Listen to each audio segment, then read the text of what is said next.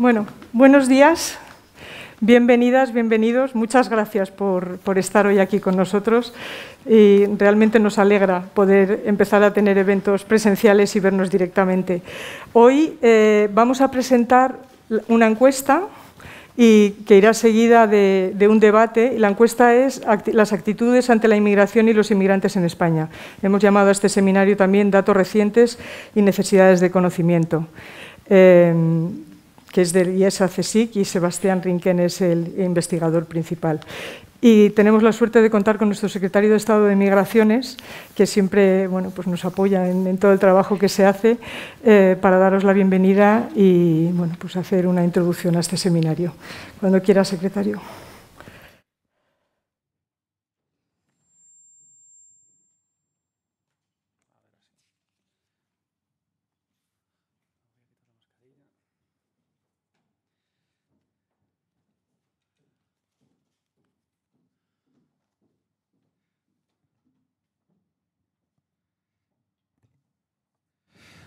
Buenas tardes. Voy a intentar ponerme lo suficientemente equidistante para no provocar el pitido insoportable. Gracias eh, a todas y todos por, su presencia hoy en este, en este acto, en el que eh, presentamos algo más que los resultados de una encuesta. Presentamos una herramienta eh, fundamental, no solamente para el, para el departamento del cual tengo el honor de ser secretario de Estado, sino también eh, como una herramienta útil al servicio, yo creo que más allá de, o hablando del Gobierno, en general de los poderes públicos, de, todos los poderes públicos. Es una herramienta fundamental no solamente para tomar el termómetro de una realidad que sabemos que existe, y no solamente en el sentido negativo del término, también en el positivo, en el sentido de que afortunadamente se confirman algunas de las, mm, de las preconvicciones que tenemos acerca de las actitudes de un país como España hacia la inmigración y los inmigrantes en nuestro país. Tengo una intervención ya cerrada y demás, pero me parecía hacer esta, esta, reflexión de inicio, sobre todo teniendo en cuenta o poniendo en contexto lo que, lo que somos como país ¿no? y sobre todo lo que hemos sido. Yo soy de la opinión de que mm, conocer de dónde uno viene ayuda a entender hacia dónde quiere ir. Y conocer nuestra historia, no tan lejana en el tiempo, nos ayuda también a mirar de otra forma a un fenómeno que hasta hace unos años mirábamos desde la lejanía en el contexto europeo. ¿no? Nosotros somos un país en el que el fenómeno migratorio es relativamente reciente en comparado con el, eh, comparado con el, que, con el que se ha dado en países de nuestro entorno.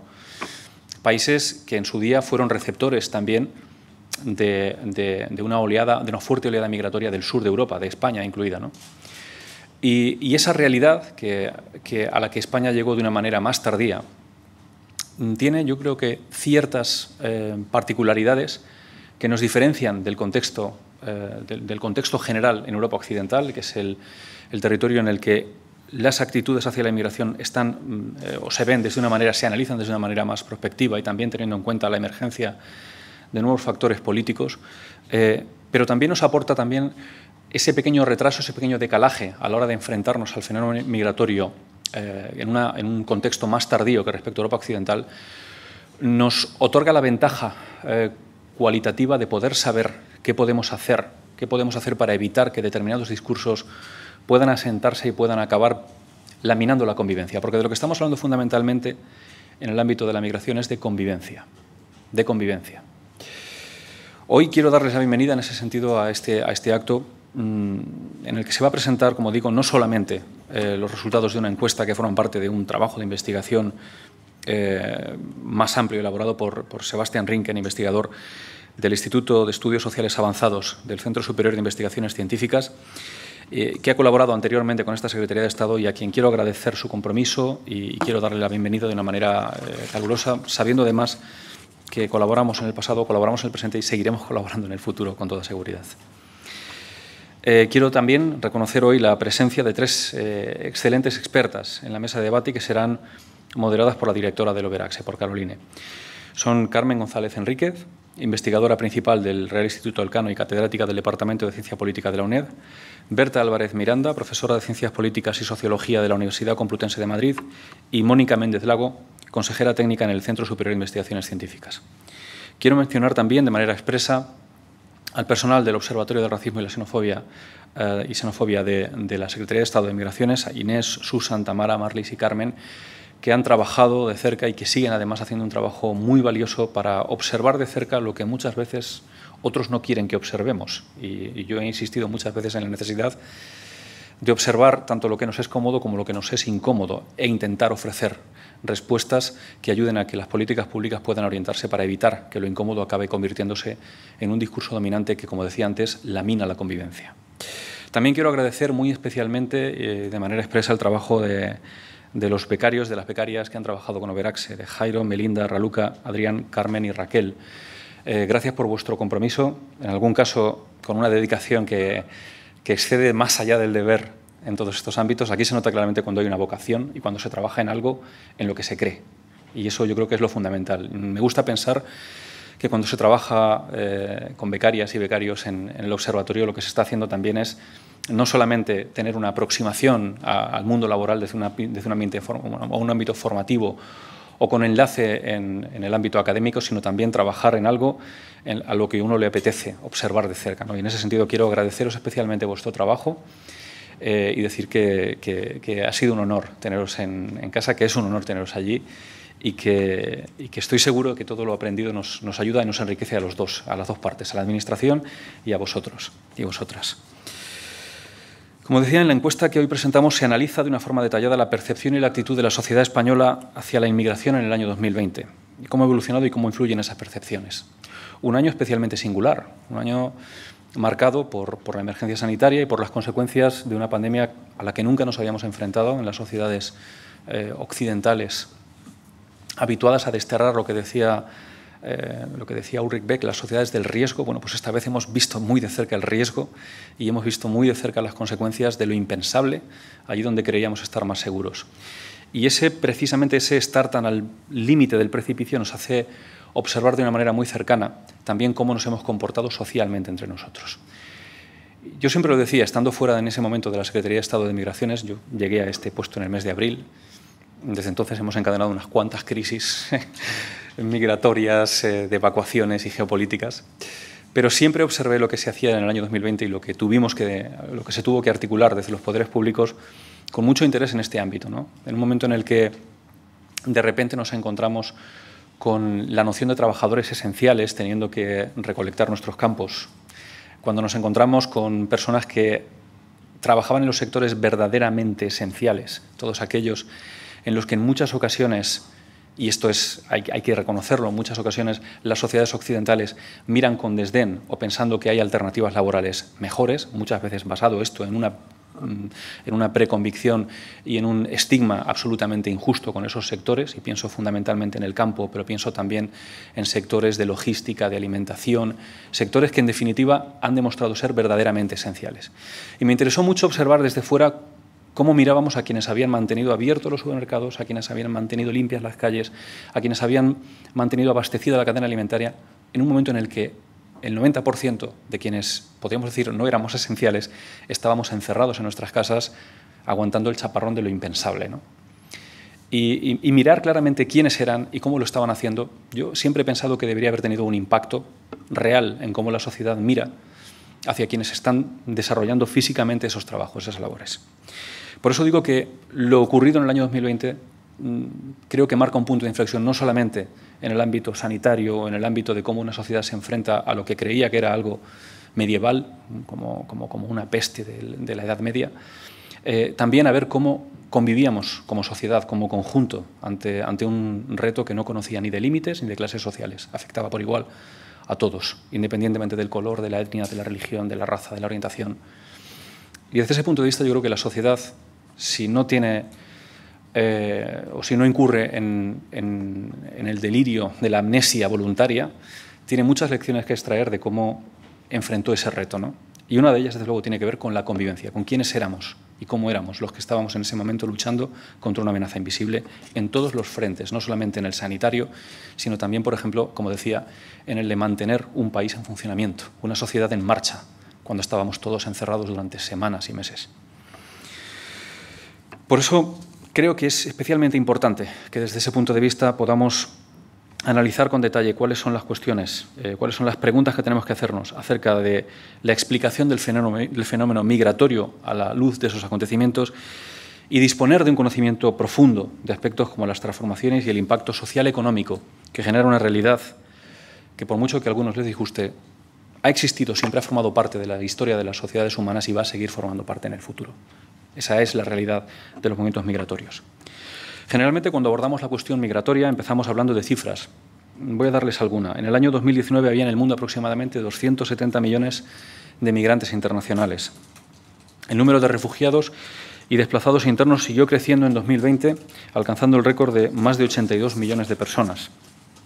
Fue el noveno año consecutivo de aumento de lo que, lo que hace que hoy haya más del doble de personas desplazadas de manera forzosa que hace una década.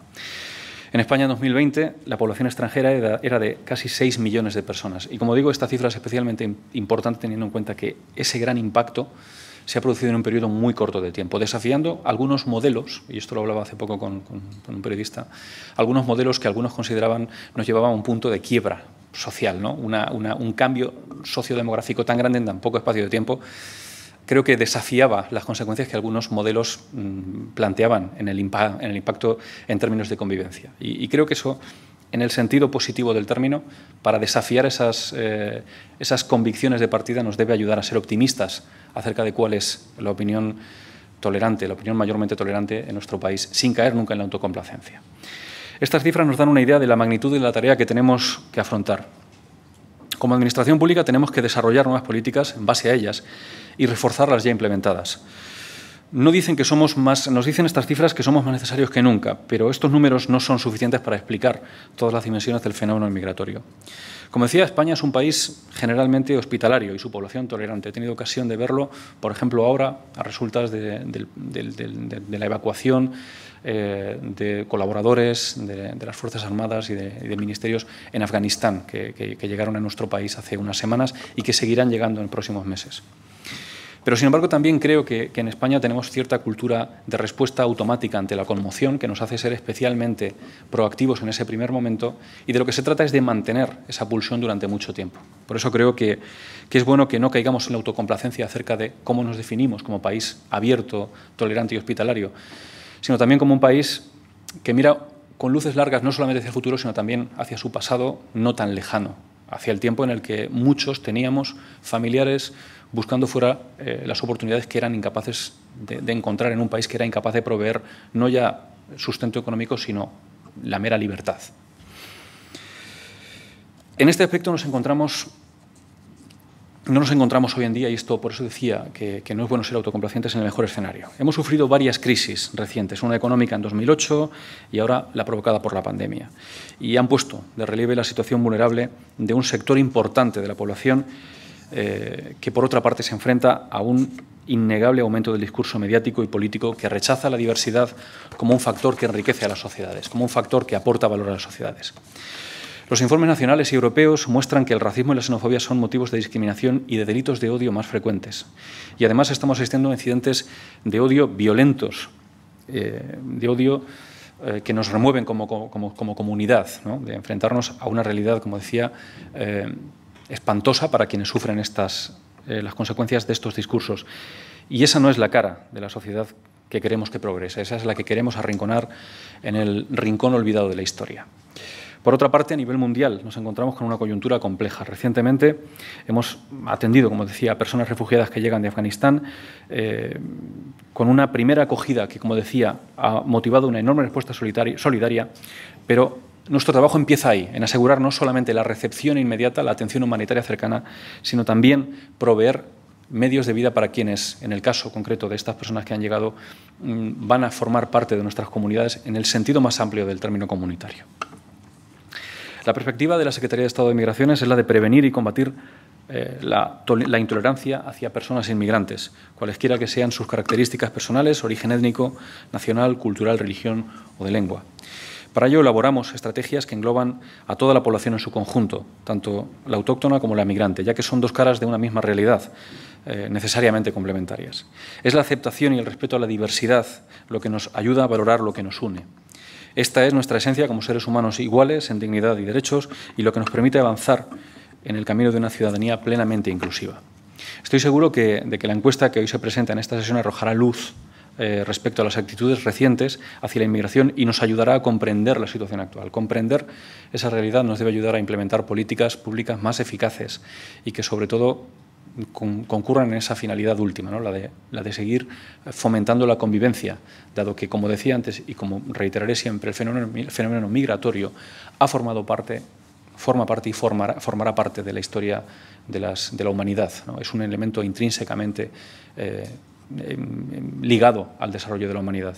Hay amenazas en el futuro que nos hacen pensar que este no es un fenómeno eh, pasajero, sino que el movimiento migratorio, basado también, por ejemplo, en las consecuencias del cambio climático, va a estar muy presente en la agenda política. Por eso es tan importante observar de cerca y por eso es tan importante contar con herramientas que nos ayuden a entender cómo somos realmente, cómo estamos evolucionando y qué debemos prevenir para evitar que se convierta en el germen de discursos eh, de un pasado al que, como decía antes, queremos arrinconar en el baúl de la historia.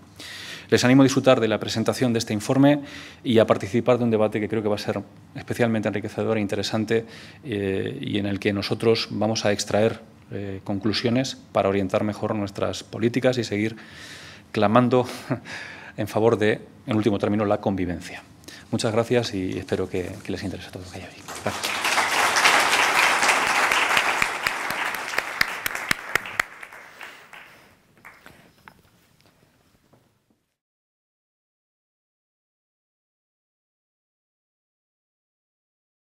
Bueno, a continuación vamos a empezar con, la presentación eh, de los resultados de las actitudes ante la inmigración y los inmigrantes, eh, que como sabéis lo va a presentar Sebastian Rinken, que es licenciado en Ciencias Políticas por la Universidad de Berlín. Eh, y bueno, es eh, un experto en migraciones internacionales a España, en la evolución, en las actitudes y en las precondiciones de integración de las personas inmigrantes. ¿no? Actualmente trabaja en, en, el Instituto de Estudios Sociales Avanzados del CSIC, en Córdoba, y, bueno, ya ha colaborado, bueno, como gran experto que es, en los temas de, nuestra Secretaría de Estado. Y Sebastián, adelante, que tienes cosas muy interesantes que contar.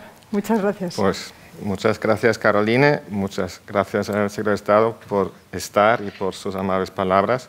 Gracias a todos por estar y gracias especialmente a Berta, Carmen y Mónica por compartir también su sabiduría con nosotros. Bueno, pues eh, el título elegido para esta jornada eh, sugiere que su objetivo es reflexionar juntos, a la luz de esos datos recientes que aportamos, sobre las actitudes ante la migración de los inmigrantes. Y la finalidad última que perseguimos pues, es afianzar un diagnóstico sobre las mismas. En su caso, también identificar lagunas de conocimiento, porque las herramientas no son perfectas.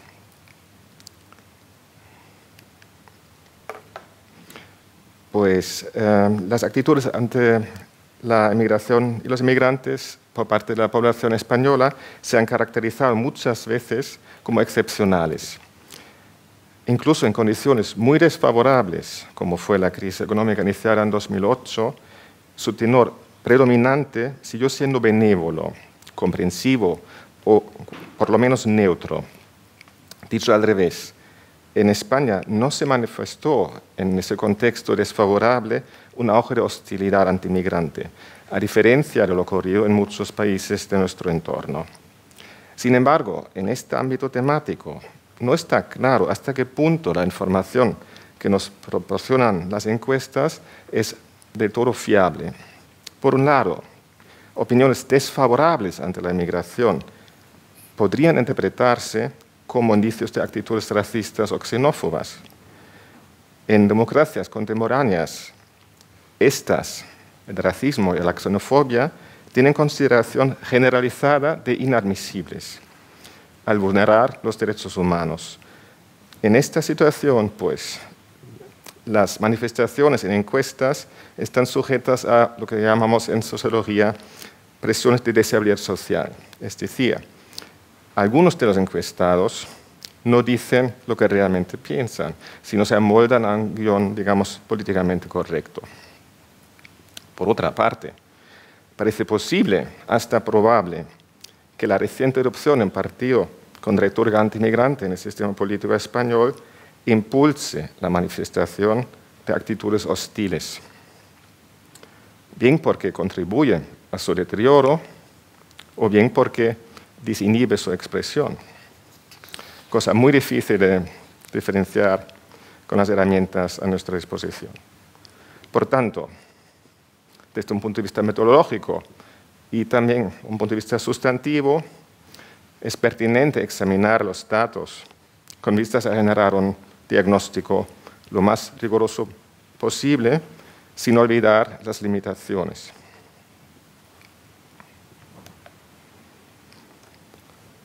Como apartación a este objetivo, presentaré resultados de la encuesta sobre actitudes ante la migración de migrantes realizada en el marco de un proyecto de I+D financiado por el FEDER y el Ministerio de Ciencia e Innovación, el denominado proyecto EASY, por explicando actitudes sosegadas ante la migración en España.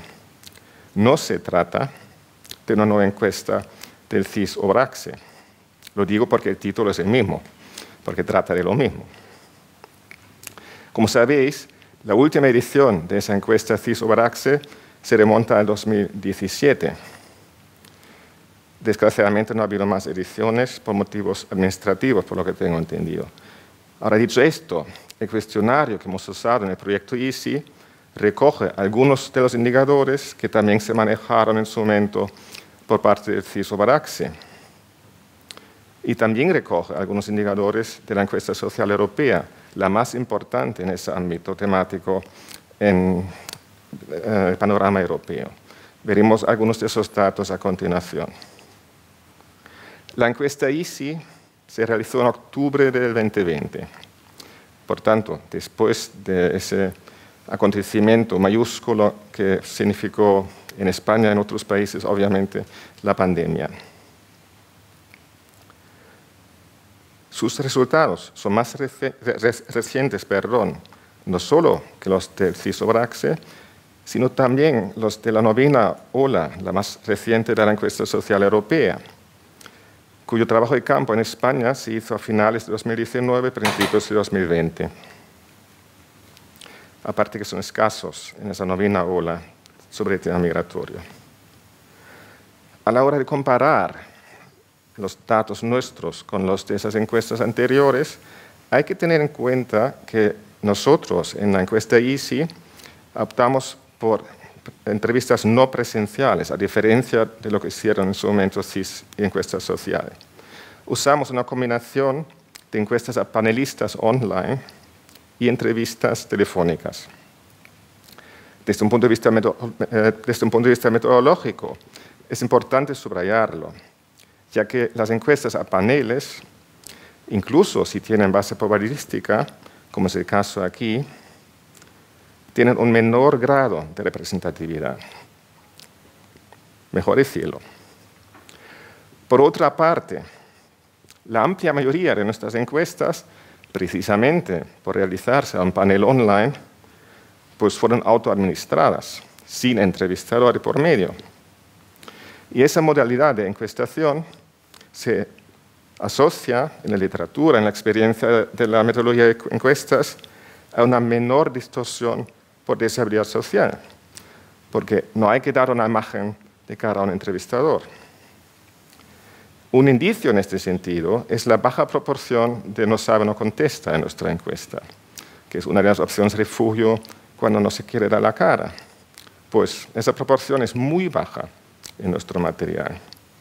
Y para mejorar la comparabilidad, cuando veamos datos de esta encuesta, de CIS y de la encuesta social, pues quitaremos los no sabe, no contesta, porque en el CIS, en la encuesta social, hay muchos más y la comparación se distorsiona.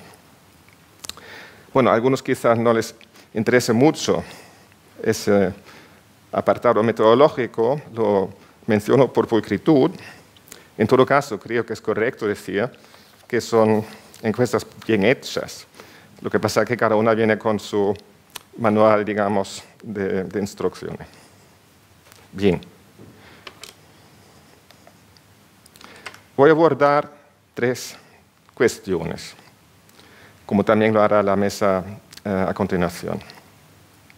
Primero, ¿Qué aceptación social tiene en España el rechazo antimigrante? En segundo lugar, ¿las posturas en materia migratoria son monolíticas o son multifacéticas? Y tercero, ¿cómo han evolucionado las actitudes en este ámbito temático en, fechas recientes?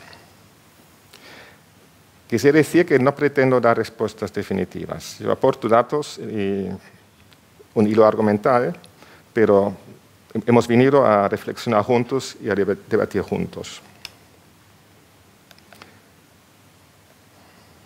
La medición y explicación, en su caso, de la hostilidad antimigrante acapara, como decía bien el secretario de Estado, la atención preferente, tanto de las instituciones como también de los investigadores. Ello es así porque el rechazo hacia personas inmigrantes, o en su caso hacia determinados colectivos, representa un grave problema de convivencia, precisamente. Dos guerras mundiales y el holocausto demostraron la asombrosa facilidad con la que el desprecio verbal puede degenerar en comportamientos inhumanos. La enseñanza irrevocable de aquellas dolorosas experiencias fue un consenso amplio contra el odio, contra el racismo, contra cualquier desprecio generalizado hacia otros colectivos, incluyendo muestras verbales. Y eso era nuevo, porque antes se hablaba mal del otro sin ningún problema en Europa. La consiguiente presión social, de desigualdad social, complica la obtención de datos fidedignos. Sabemos que cuando los encuestados contestan a preguntas directas sobre el rechazo antimigrante u otros aspectos de las políticas migratorias o de la realidad migratoria, algunos no dicen toda la verdad. Lo sabemos por la evidencia empírica que manejamos. Sin embargo, no sabemos cuántos se muerde la lengua. Es difícil saberlo. En la encuesta incluimos un experimento precisamente para avanzar en este apartado, un determinado experimento de listado. Se maximizaban las garantías de anonimato a los encuestados con la idea de eludir esas distorsiones sociales y medir tanto la verdadera extensión del rechazo como también el alcance del sesgo de medición asociado a la pregunta directa. Por motivos que no me da tiempo a explicar hoy aquí, porque me cagaría la presentación de lo demás, el experimento no funcionó, porque se vio salpicado a su vez por consideraciones de deshabilidad. Entonces, lo que puedo presentar aquí son indicadores de esos clásicos a sabiendas de sus limitaciones. En este gráfico se resumen tres indicadores de rechazo frontal hacia la población inmigrante. En primer lugar, una pregunta dicotómica sobre antipatía hacia los inmigrantes en su conjunto. Las columnas en color celeste recogen la proporción de quienes contestan sí a esa pregunta dicotómica, sí, no. Entonces, dicen, sin más, abiertamente, que los inmigrantes les caen antipáticos. Si no veis bien el gráfico, en, la carpeta tenéis los gráficos también reproducidos. Dos, una pregunta sobre la admisión de personas pobres de fuera de Europa. Las columnas en azul oscuro recogen la proporción de quienes contestan que no venga ninguna, ninguna persona de países pobres. Rechazo. Y en tercer lugar, una pregunta sobre el impacto de la llegada de personas de otros países, que viene de la encuesta social.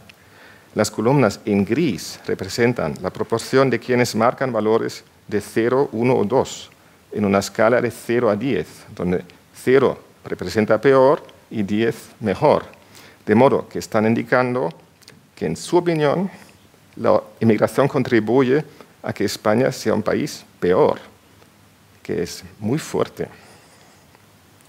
Si veis el último grupo de columnas, en el conjunto de la muestra, los valores obtenidos oscilan entre un 7 y un 16%. Sugieren, por tanto, que hasta una sexta parte aproximadamente en esa medición directa, sujeta a sesgos de desabilidad social, admite rechazo completo y categórico a la población emigrante. Si mirar, eso es mucho o poco, porque es una minoría y no deja de ser una minoría. El gráfico ilustra también que estas posturas, estas admisiones, declaraciones de rechazo frontal global, varían en función de la ideología política, lo hacen de forma muy clamorosa. La antipatía manifiesta, por ejemplo, se circunscribe al 5% más o menos entre personas con ideología de izquierdas y llega hasta un 33% en el caso de personas que declaran una ideología muy derechista. Hemos preguntado también por las actitudes hacia colectivos específicos de inmigrantes, concretamente chinos, europeos del este, latinoamericanos, marroquíes y subsaharianos. Como veis, en todos los casos, una mayoría declara no sentir ni antipatía ni simpatía, pero por lo demás se obtienen resultados muy diversos. Los latinoamericanos suscitan el mayor grado de simpatía por delante de chinos y subsaharianos. En cambio, los marroquíes suscitan antipatía en mayor medida. La suma de muy antipáticos y antipáticos, en este caso, alcanza un tercio del total,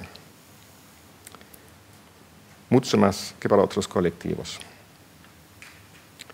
Al ser preguntados por sus posturas hacia la migración y los inmigrantes, muchas personas tienden a opinar en el mismo sentido, bien favorable o bien desfavorable, respecto a todo un abanico de preguntas. Sin embargo, aunque eso sea cierto, las proporciones de posturas favorables y desfavorables varían enormemente según qué faceta del hecho migratorio examinemos. En otras palabras, la mayoría social no es la misma según qué indicador cojamos. Si solo nos, figuráramos en la proporción de rechazo, podríamos perdernos la parte más importante, y es que hay mayorías sociales respecto a muchos de esos aspectos, pues favorables o benévolas.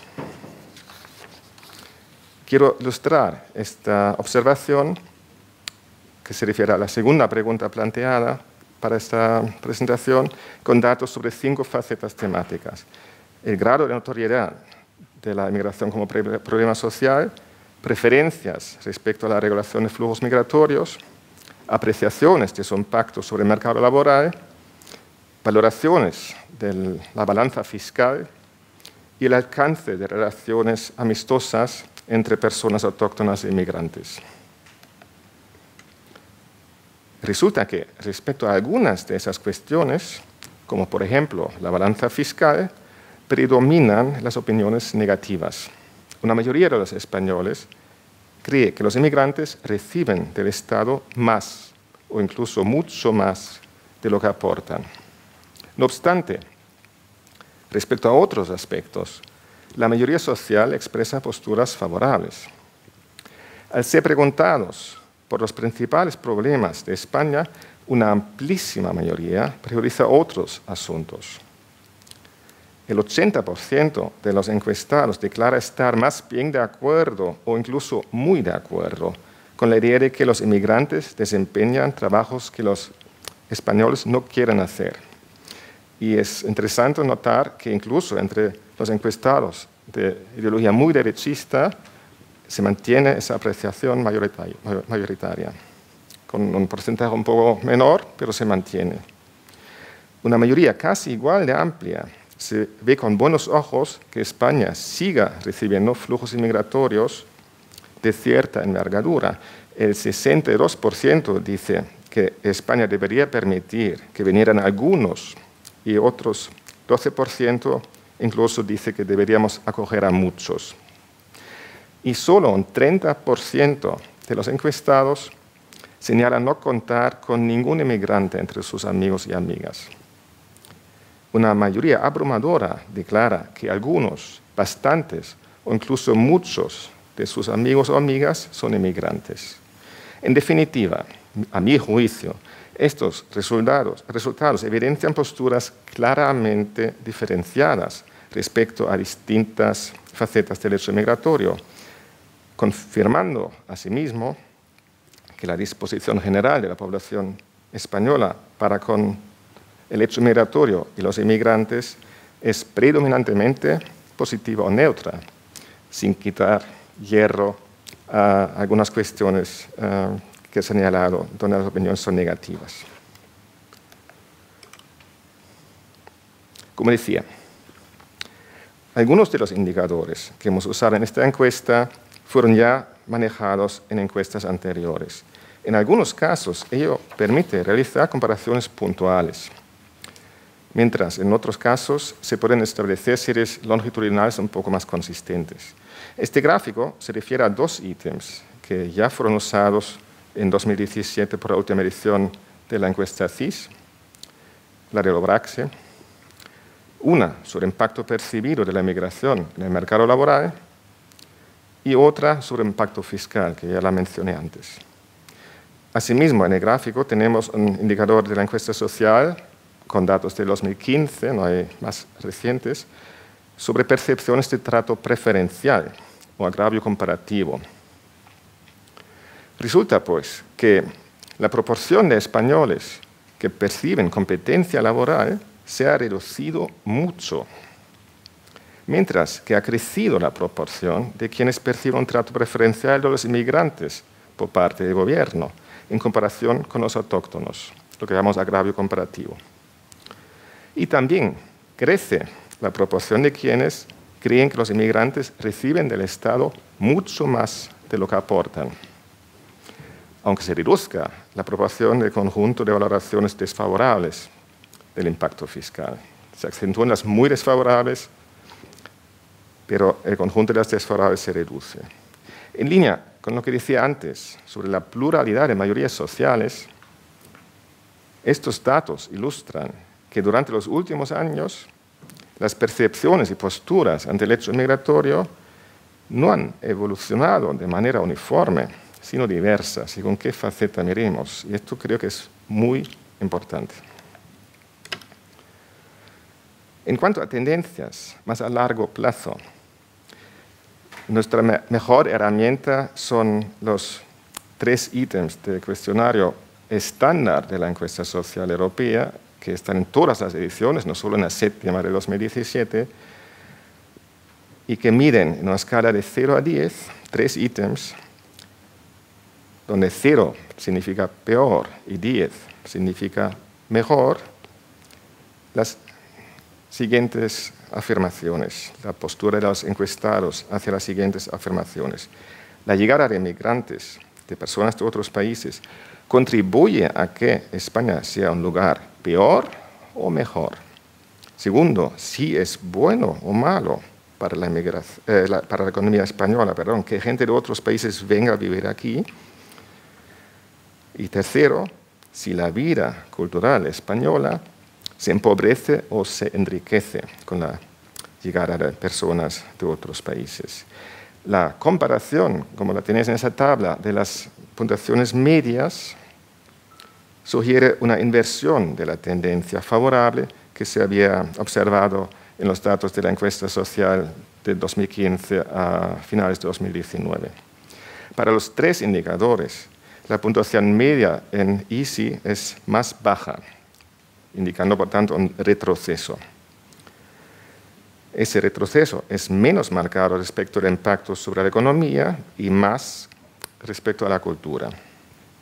Es posible que esta inversión de la tendencia tenga algo que ver con la metodología que decía antes, de modo que se desinhibe en nuestra encuesta decir cosas menos políticamente correctas, pero no lo podemos saber. En todo caso, los resultados nuestros de la encuesta ICI indican globalmente posturas más positivas que negativas, porque siempre el punto medio está por encima del 5, que sería el punto central de la escala. Ahora bien, si desglosamos esos datos según ideología política, observamos que las tendencias son muy notables en evolución longitudinal, muy marcadas y muy desiguales según qué ideología miremos. El ejemplo ilustrativo que os traigo se refiere al indicador lugar, que ya había citado antes. Es decir, puntuaciones muy desfavorables respecto al impacto de la inmigración sobre la calidad de vida en España, básicamente. Entonces, vemos que el total es bastante estable. ¿eh? Se moverá ese poquito que decía también antes con referencia a las puntuaciones medias. Y sin embargo, personas con ideología de izquierdas manifiestan cada vez menos posicionamientos muy desfavorables, mientras personas con ideología de derechas y sobre todo muy de derechas, pues cada vez más rechazo. Es un ejemplo entre tantísimos que podría haber traído. En lo que a evolución longitudinal se refiere, evolución en el tiempo, nuestro hallazgo perdón, más importante, a la vez que metodológicamente más sólido, es que las posturas ante la inmigración se polarizan cada vez más en función de la ideología política. Respecto a este parámetro, los datos de ISI no rompen la tendencia de los últimos datos de la encuesta social de 2015 a 2019, sino que se acentúa la pauta observada también en la encuesta social. La correlación entre las posturas ante la inmigración y la ideología política que se dibuja en el gráfico, pues crece de forma muy marcada en el año 2020. Cabe relacionar esta situación, este hallazgo, con la creciente polarización ideológica, pues em, asociada a la erupción de Vox en el sistema político español, un efecto Vox. Erupción que estaría ejerciendo efectos diferenciados sobre las actitudes manifestadas en el ámbito migratorio, según qué ideología profese cada cual. La presencia institucional de un partido con esas características, con retórica antimigrante, estaría, por tanto, animando a personas con ideologías de derechas, especialmente aquellas muy derechistas, a posicionarse cada vez más en contra de la inmigración de los inmigrantes. En cambio, las personas con ideologías de izquierdas lo harían en sentido cada vez más favorable.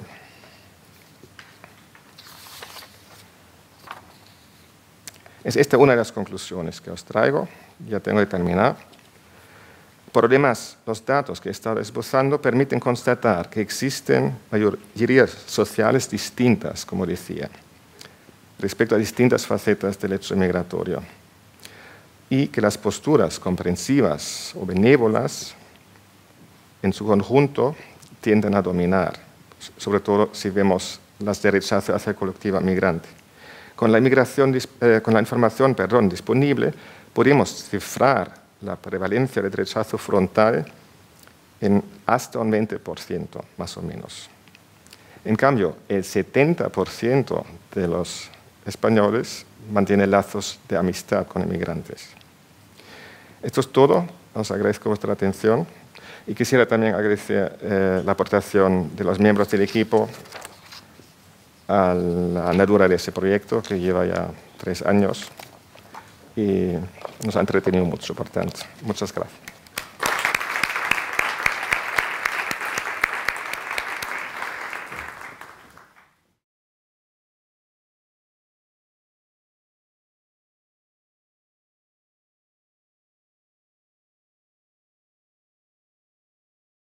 Si os parece, vamos a empezar ya con, con la mesa de debate. Invitamos a nuestras ponentes aquí.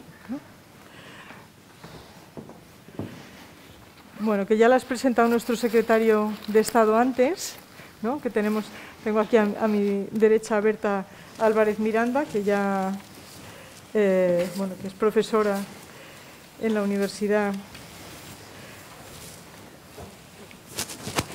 de Ciencia eh, Complutense de Madrid y que fue directora de investigación del, CIS y por tanto la responsable de la encuesta de actitudes hacia la inmigración y con ella colaboramos eh, durante años también en esa encuesta. Eh, Carmen González Enríquez, que sabéis que es investigadora principal del Real Instituto en Cano, eh, el Cano ha sido también investigadora invitada en la Universidad de Oxford, en el Centro de Estudios eh, Políticos de, Budapest, y luego ella es experta en, migraciones internacionales, también es catedrática del Departamento de Ciencias Políticas de la UNED y ha participado en numerosos eh, proyectos europeos sobre estas cuestiones. Y bueno, nosotros la leemos con frecuencia, todas las aportaciones tan importantes que hace. Y eh, tenemos también a Mónica Méndez Lago, que es profesora titular de, Ciencia Política de la Universidad de Murcia, consejera técnica en el Centro de Investigaciones Sociológicas, experta también en la encuesta de actitudes hacia la inmigración, con la que también hemos colaborado y la verdad es que las colaboraciones han sido siempre eh, fructíferas e interesantes. Por tanto, estamos eh, muy contentos de, teneros hoy, hoy, aquí a todas. Bueno, los resultados de, de, la encuesta que ha presentado Sebastián Rinken eh, son interesantes. ¿no? O sea, eh, nos plantean varias cosas. ¿no? Una, que, realmente el rechazo es minoritario, no es, no es, un rechazo muy grande, pero ahí también nos interesa medir qué significa minoritario ¿no? y, ver en qué posición relativa nos encontramos con, con otros países de la Unión Europea y sobre eso nos ilustrará eh, Berta. también vemos que hay múltiples factores, ¿no? múltiples factores que influyen en el rechazo y, también queremos profundizar un poco más en cuáles son, en qué, en, qué, nos dicen y hasta qué punto nos podemos fiar de ellos.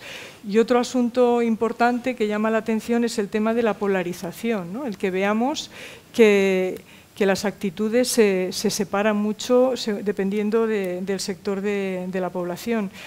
Y, y, ahí, bueno, pues queremos ver también con Carmen hacia dónde vamos, ¿no? Cómo ve ella esa evolución y qué, y qué, es, qué podemos intuir que, va a pasar en el futuro. Yo les voy a hacer algunas preguntas a ellas y luego al final dejaremos un espacio para, el debate y para vuestras intervenciones. Eh, se nos ha descabalado un poco hoy el tiempo, pero bueno, yo espero que, podamos ser más o menos eh, puntuales. Berta, estábamos diciendo eh, la cuestión esa de, bueno, tenemos un porcentaje de rechazo, pero, pero ¿qué significa verdaderamente ese rechazo? ¿Es, grande? ¿Es pequeño? Em, ¿La inmigración preocupa a los españoles tanto como al resto de europeos? ¿Más, menos? ¿Tú qué nos puedes decir de eso? Pues tenemos en las pantallas un gráfico que me puede servir para responder a tu pregunta. Em, que nos muestra una pregunta del Eurobarómetro en que pide a los entrevistados de todos los países de la Unión que mencionen cuáles son los dos temas más importantes que afronta su país. Y he recogido en el gráfico las menciones a la inmigración para mostraros básicamente que la línea que representa a España entre 2010 y 2020, que es la línea naranja, queda por debajo de la media europea, que es la línea verde. Y he recogido como ejemplo de contraste Italia, por ser un país que geográficamente y en cuanto a su historia de inmigración se parece a España, em, para mostrar simplemente que en los, años centrales de la década eh, la preocupación por la inmigración en Italia fue mucho más elevada que, que en España por muchos motivos, pero que creo que son significativos aquí. Eh, al final del gráfico todas las menciones a la inmigración, como veis, confluyen porque quedan aplastadas bajo la preocupación por los temas sanitarios y, económicos. ¿Qué indicadores crees que tenemos o, ves de cuánto rechazo albergan los autóctonos hacia los inmigrantes. O sea, aquí vemos que, España eh, parece que hay menor rechazo, menor que la Unión Europea, menor que Italia. ¿Cuáles son las variables que nos indican el, rechazo? Pues eh, podemos usar mm, un indicador sobre las preferencias hacia, o podemos em, empezando mejor por este, ¿no? El que estaba utilizando Sebastián Rinken sobre em, ¿Cuántas personas en, la encuesta social europea mm, opinan que su país se está convirtiendo en un lugar peor para vivir debido a la inmigración. Como ha mencionado Sebastián, los entrevistados responden en una escala de 0 a 10 y aquí he recogido el mismo indicador que él, que es solamente las personas que eligen el 0, el 1 o el 2. Es decir, opiniones realmente extremas ¿no? en relación a lo que es la tendencia habitual, que es situarse en el 4, el 5, el 6. Em, y aquí podemos ver pues, que en, España se sitúa entre los grandes países eh, europeos en la última fecha, en 2018, eh, cerca del Reino Unido, cerca de, Alemania, en cuanto a que alrededor del 10% de los entrevistados consideran que em, España se está convirtiendo en un lugar peor para vivir y sin embargo pues queda lejos de otros países como podría ser Austria, como podría ser Hungría, en que los porcentajes eh, más que duplican el, español y más aún en el caso de, Italia. De modo que mm, está lejos de Suecia, por ejemplo, en que la opinión, esta opinión radical es mucho más rara, pero no es diferente de otros países centroeuropeos en este respecto y se sitúa en torno al 10%. A mí en ese gráfico que tenías ahí, eh, ah, creí que lo habías cambiado, me llama la atención que, por ejemplo, Suecia, que es un país eh, igualitario, ¿no? una sociedad más igualitaria, que tenga unos datos más bajos, pero me llama un poco la atención el orden porque que, vaya seguido de Polonia, por ejemplo. ¿no? ¿Para eso tienes alguna explicación? Es que me llamó la atención cuando lo vi y que tengamos a Polonia y que tengamos a Italia en, la, otra esquina, no sé.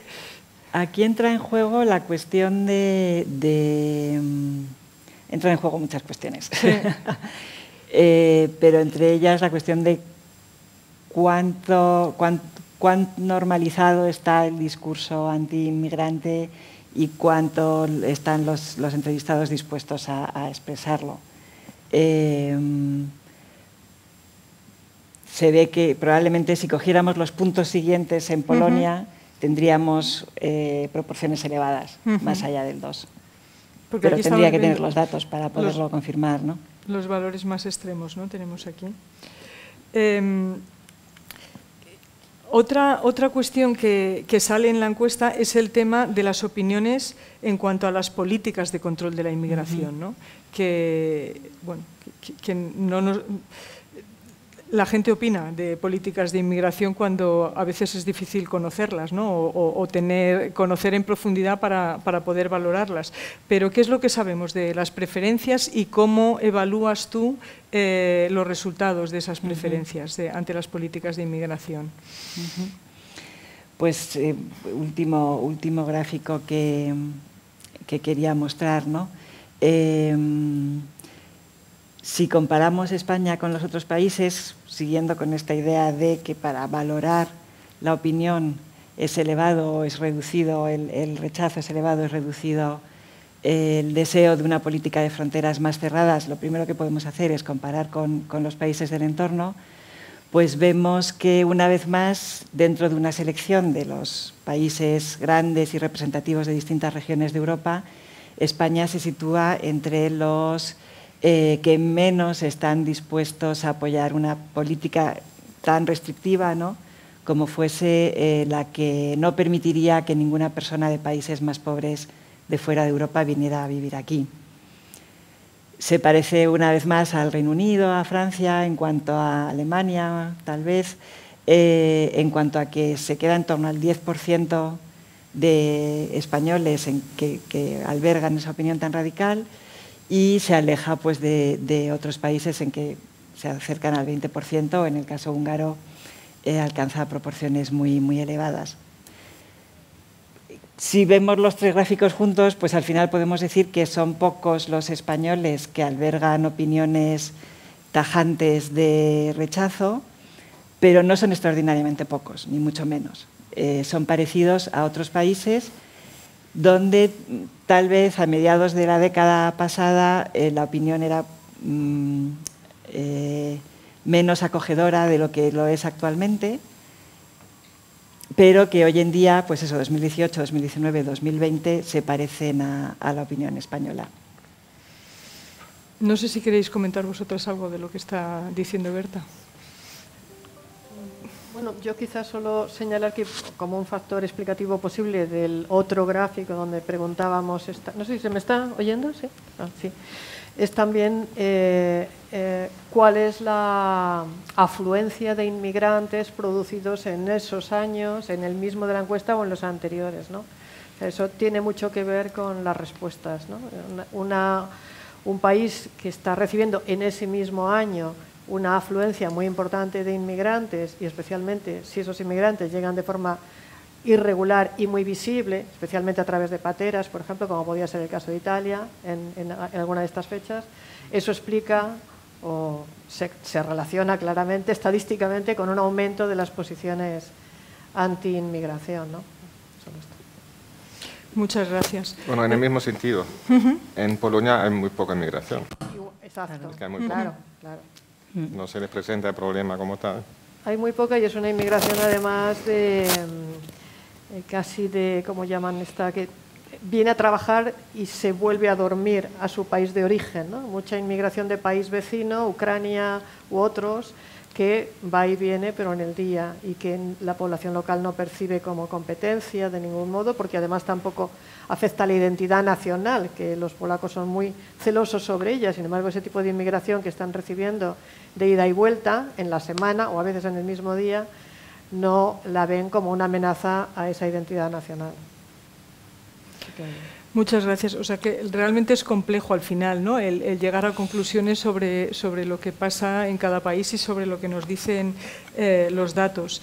Y en ese sentido, pues eh, le quería preguntar a, Mónica, ¿no? Que realmente qué es lo que nos aporta eh, una encuesta como esta y qué desafíos eh, metodológicos tenemos a la hora de, abordar esta cuestión de, las actitudes hacia la inmigración en esta encuesta y bueno, en tu experiencia en general. Y cuéntanoslo de una forma que nos nos entendamos los que no estamos acostumbrados a, la cuestión metodológica pura. Bueno, yo creo que eh, es fácil contarlo de una manera que, todos podamos percibir, porque las encuestas son una realidad omnipresente. En nuestra vida cotidiana también tienen eh, bueno, pues sus problemas eh, precisamente por ser esa realidad omnipresente de diferentes tipos de encuestas. Yo creo que en general, las encuestas sobre este tema nos aportan mucho, a pesar de tener problemas metodológicos que ha comentado Sebastián, y esta en concreto me parece que hay que poner en valor precisamente que no elude estos problemas metodológicos o estas dificultades que entraña medir las actitudes hacia la inmigración, sino que las aborda directamente. ¿no? Las, ah, entonces, esto es, eh, yo creo que es especialmente resaltar. Eh, un aspecto que ha mencionado Sebastián en su intervención es cómo se trata de un fenómeno polifacético y también lo son los métodos de enfrentarnos. Entonces, aunque yo la verdad es que no vengo a hablar de mi libro, pero me dedico fundamentalmente a las encuestas, está claro que soy consciente de que solo con las encuestas no vamos a comprender el fenómeno migratorio. Y esto nos queda claro a quien las hacemos. Yo me he encargado de encuestas en el y relacionadas con Overaxe y de la realización en España de la encuesta social europea, pero soy plenamente consciente de que abordan Solo una mirada muy útil. Muy útil porque, bueno, pues, ah, porque nos permite tener una, visión general, pero también matices y diferentes ámbitos y diferentes eh, arrojar luz sobre diferentes ámbitos. Y menciono algunas cuestiones que pueden aportar esa mirada más matizada. Lo ha comentado Sebastián, que como su intento, yo creo que ha sido excesivamente modesto, diciendo que el experimento que han incluido para intentar evitar esa respuesta socialmente deseable o, si queréis, políticamente correcta ante las preguntas. Ha fracasado si nos leéis en texto a medias. En realidad ya nos aporta a luz lo que han identificado. ¿Por qué? Pues que nos permite intentar cuantificar lo que es una percepción que tenemos de tenemos que percibir, tenemos que leer estos resultados como quitándole dos ceros, quitándole un poco. o, dicho de otra manera, lo, ha expresado él. Las encuestas nos pintan una realidad a lo mejor algo más positiva de lo que en realidad podemos percibir que hay. Y lo que nos resulta difícil es cuantificar cuánto de más bonita es esa realidad. Y en todo caso, y ese es un segundo aspecto que destacaría, y luego podemos abordar más, lo que seguro que es interesante de las encuestas es cuando podemos hacer varias a lo largo del tiempo con las mismas preguntas y comparar entre a lo largo del tiempo y en distintos países. De ahí la riqueza de las repetidas ediciones que esperemos que se retomen de las encuestas de la la riqueza que supone que el equipo de Sebastián haya incluido en el cuestionario preguntas que son comparables y la riqueza que supone realizar encuestas comparadas entre diferentes países que luego tienen respuestas complejas, porque Polonia tiene este dato y España otros. Y un segundo elemento también muy importante, que me parece fundamental, es que a veces se dice las encuestas presentan una realidad muy simplificada. En parte sí, pero luego hay muchos elementos que las puedes hacer más complejas. Por ejemplo, combinar un listado de temas y preguntar a la población cuáles le parecen más o menos preocupantes con preguntas abiertas, como la famosa del barómetro de los principales problemas que percibe la sociedad española, y ver en abierto, sin ser condicionados por un conjunto de respuestas, cuántas menciona la inmigración. Ver la evolución de ese indicador nos permite ver épocas en las que han superado el 50% y situaciones como desde hace tiempo en las que difícilmente ha superado el 10% y ahora está muy por debajo, en torno al 5%. Eso tiene diferentes lecturas y no podemos entrar en ello, pero es, es enriquecedor la combinación de todas estas aproximaciones. O, por terminar, mezclar preguntas sobre percepciones y valoraciones con eh, otras que nos permiten entender qué tiene en mente la persona entrevistada cuando está contestando. Menciono una que hemos incluido mucho en la encuesta social europea y luego en las encuestas de Overax, y no sé si está en vuestro cuestionario porque no tenemos todo, y es que las personas que responden nos estimen, digan de cada 10 personas que viven en su municipio, ¿cuántas vienen de fuera? De cada 10 personas que viven en España, ¿cuántas cree usted que vienen de fuera? No hacemos un examen, no es un examen de, ¿sabe usted el porcentaje de inmigrantes? No. Lo que nos hace es aportar una información que, junto con todas las que estamos mencionando, nos permita matizar qué tiene en mente el entrevistado. Puede tener en mente una visión muy distorsionada. No se trata de evaluar tanto los conocimientos, sino más bien de matizar en el análisis. Entonces, yo creo que aporta, por volver a la pregunta inicial, aporta muchísimo, pero que en general todos los datos de encuesta aportan mucho. ¿Nos dan todas las respuestas? No.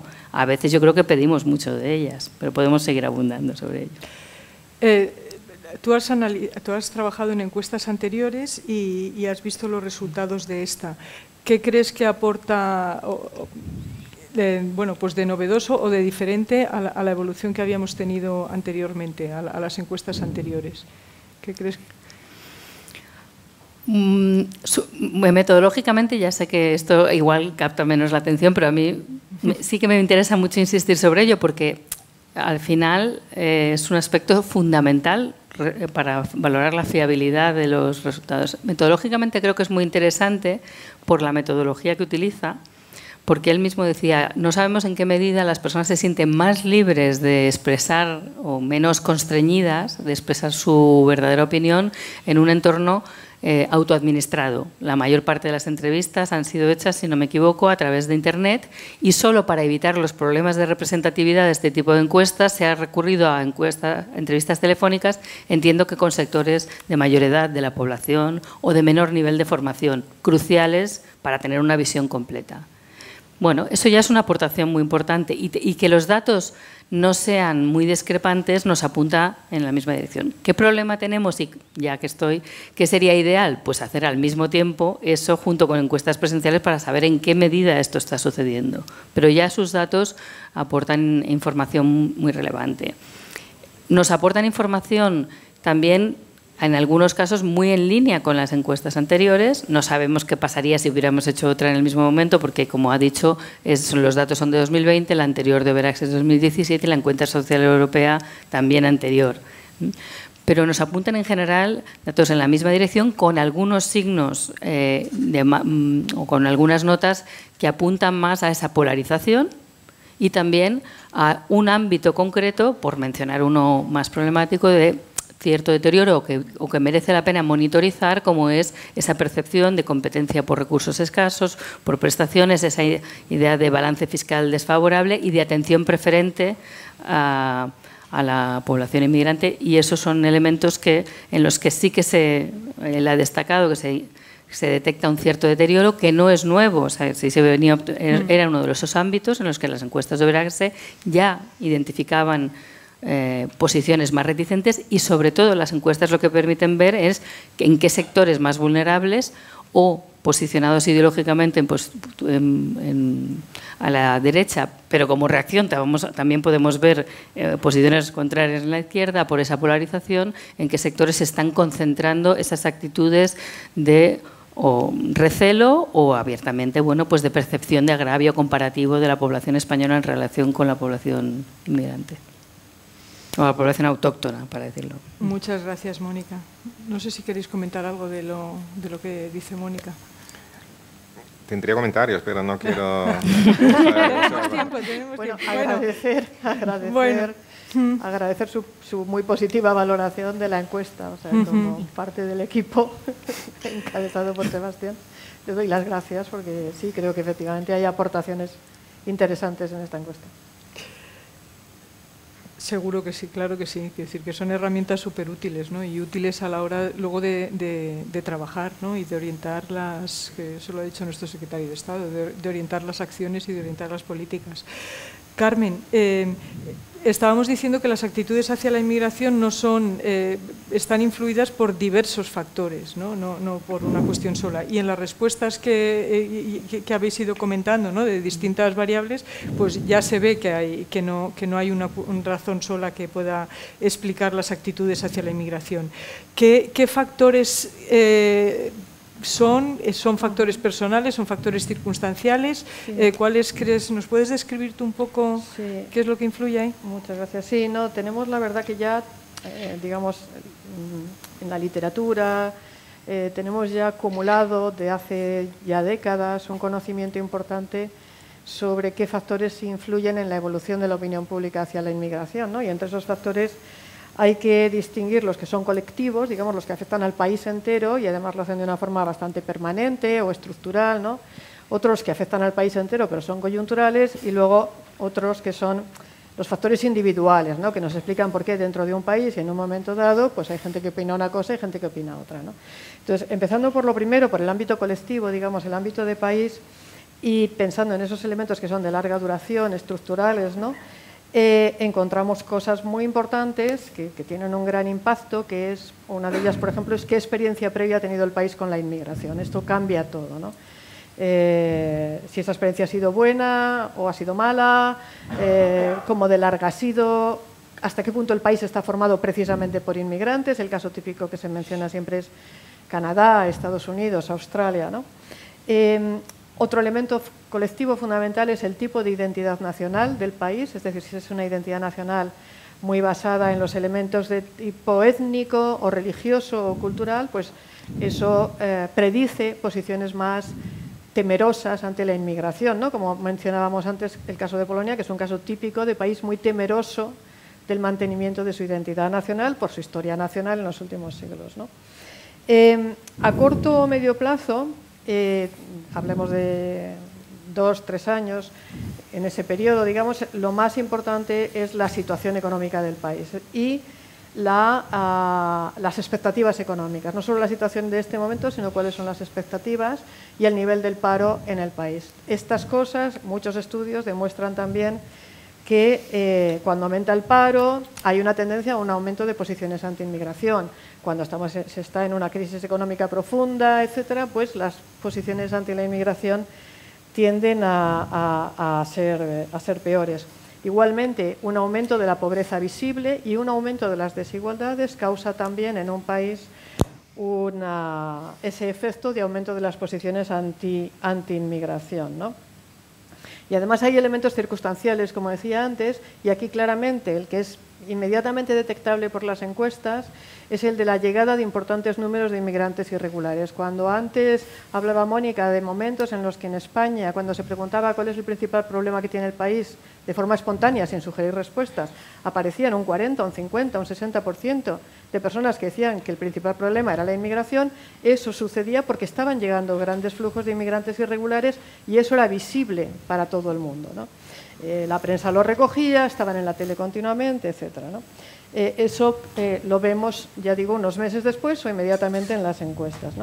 Pero también la política tiene un papel muy importante. Cuando digo la política me refiero a los mensajes de los, de los partidos políticos. Allí donde aparecen partidos políticos que deciden utilizar la inmigración como uno de sus principales mensajes en la contienda política, ahí aparece también eh, como reflejo en la opinión pública o como causa también de la aparición de estos partidos, pues un aumento de las posiciones anti-inmigración. En el nivel individual son muchísimos los factores que influyen, algunos psicológicos meramente, ¿no? pero otros, digamos, estructurales, sociodemográficos. Uno importante es la edad. Encontramos, por ejemplo, en España, en esta encuesta, en ISI, que las posiciones más negativas ante la inmigración se concentran en el grupo de edad de 30 a 45 años, porque son eh, las personas que en ese momento están en el periodo de consolidación de sus carreras profesionales. La, educación, el rechazo eh, disminuye eh, en los mayores niveles educativos y es más alto, el rechazo es más alto según bajamos en el nivel educativo. El sexo, con una, esta, esta no es tan importante, pero hay una pequeña diferencia, con hombres mm, los hombres más eh, tendentes a posiciones anti-inmigración que las mujeres. Y en realidad todas estas variables, educación y edad, sobre todo estas dos, pero también el sexo, hay que eh, actúan a través de cuál es la posición de esos individuos en el mercado de trabajo en cada momento. Eh, y es esa combinación de cuál es la posición en su carrera profesional y en el mercado de trabajo la que tiene más influencia en cuál es su posición ante la inmigración. ¿no? Pero más importante que todas estas variables individuales es la de la ideología política. Aquí, en nuestra encuesta, en ISI, encontramos una diferencia de más de 50 puntos eh, porcentuales eh, entre las posiciones de la extrema derecha y la extrema izquierda. Eh, desde 15% de los individuos de extrema izquierda, solo 15% de ellos, bueno, digo solo, pero opinan que las normas migratorias españolas son demasiado tolerantes, lo cual significa que querrían políticas más restrictivas de inmigración, el 15% de los que están entre la extrema izquierda, mientras que entre los que están en la extrema derecha es un 67%. Hay que advertir también que el centro, el centro en nuestra encuesta, está mucho más cerca de las posiciones de la derecha que de las posiciones de la izquierda. Esa relación entre la ideología y la, opinión, como antes ha señalado Sebastián, se está reforzando en España. Es decir, que cada vez, como él ha mostrado, se diferencian más eh, las posiciones de los que están en la derecha, y sobre todo en la extrema derecha, de los que están en la izquierda y sobre todo en la extrema izquierda. Em, este factor ideológico siempre ha sido importante, es decir, siempre hemos podido ver al hacer el desglose de las respuestas en las eh, encuestas sobre inmigración que claramente la derecha era más tendente a posiciones nativistas de defensa de primero lo español y luego el resto del mundo, ¿no? Eh, mientras que la izquierda estaba en unas posiciones más universalistas, eh, solidarias o como queramos decirlo, o más abiertas hacia la llegada de inmigrantes. Pero lo que muestra la evolución reciente es que esas diferencias se están haciendo cada vez mayor. Antes era una amalgama más en el centro y ahora cada vez se están dispersando más las opiniones. Eh, y porque en buena parte la presencia actual en las instituciones eh, públicas como los parlamentos, los gobiernos regionales, el Parlamento, el, Congreso de los Diputados, parlamentos regionales, etcétera, eh, da legitimidad social a ese discurso de un partido, Vox, que ha hecho de la, del discurso anti-inmigración uno de sus ejes importantes de actuación pública. ¿no? Em, no voy a insistir en esto porque ya Sebastián lo ha mencionado, pero sí decir que eh, esa polarización que se está produciendo en la opinión pública sobre inmigración es un mal en sí mismo. Bueno, la polarización es, un mal en sí mismo siempre eh, afecte al tema que afecte. En el caso de la inmigración, como podríamos hablar de, cualquier otro, tiene un efecto muy negativo en la posibilidad del debate público y racional y eh, abierto sobre cuáles son las políticas que deben ejecutarse o diseñarse primero o cuáles son las consecuencias de esa, inmigración. Y hace mucho más difícil llegar a pactos en este aspecto y por lo tanto provoca eh, con más probabilidad pues bandazos si cambia el gobierno, ah, si cambiase el gobierno hacia uno en el que la derecha tuviese una posición dominante, pues sería probable un bandazo en el sentido contrario al que se ha dado con el gobierno actual. ¿no? Y eh, querías preguntarme también cómo, cómo esperamos que, cómo podemos esperar que evolucione a medio plazo. Bueno, aquí lo primero es decir que es muy arriesgado siempre hacer predicciones a medio plazo, porque claro, te cogen. Si luego dentro de tres años los que se acuerden dicen, pues mira, no pasó lo que Carmen decía, pues se acordarán, ¿no? Entonces es mucho mejor, claro, hacer predicciones a 50 años, porque ahí ya nadie se va a acordar si la predicción está equivocada de si era cierta o no. Pero entonces, eh, advirtiendo esto, ¿no? Las predicciones mm, pueden equivocarse clarísimamente y lo hacen continuamente, ¿no? Pero en fin, pensando en ese periodo corto, digamos, de dos, tres años, yo creo sinceramente que tenemos razones para la preocupación, porque se están dando muchos de los elementos que, como antes señalaba, los estudios de opinión pública que tenemos, ese conocimiento de la opinión pública ante la inmigración que tenemos acumulados ya durante décadas, eh, nos han identificado muchos aspectos que provocan daños en la opinión ante la inmigración. Y muchos de esos se están dando ahora en España. Eh, y es más, desde que se hizo el campo de la encuesta de ISI, que es el otoño del 2020, han ocurrido algunas cosas que, en mi opinión, mm, son preocupantes, eh, siempre desde esta perspectiva de cómo evoluciona la opinión pública. En primer lugar, como sabemos, estamos en medio de una grave crisis económica, que no lo era tan claramente en, octubre en el otoño del 2020 tenemos un paro del 14%, que es el doble de la media de los países de la OCDE. Nos encontramos en, un proceso eh, detectado claramente ahora a través de datos del INE de aumento de la pobreza y de la desigualdad, donde los inmigrantes se encuentran en las peores posiciones. Ese paro general que he mencionado del 14% se convierte en el 29% si nos referimos solo a, nacidos, o no, perdón, a ciudadanos de estados no comunitarios que viven en España, 29%. Las personas que se encuentran en situaciones de carencia material grave, es decir, que no pueden afrontar cuatro de los gastos importantes que eh, ofrece esta encuesta específica, esas personas en situación de carencia material grave son solo un 4%, perdón, un 5% entre los españoles pero son un 24%, es decir, prácticamente la cuarta parte, entre los inmigrantes no comunitarios que residen en España.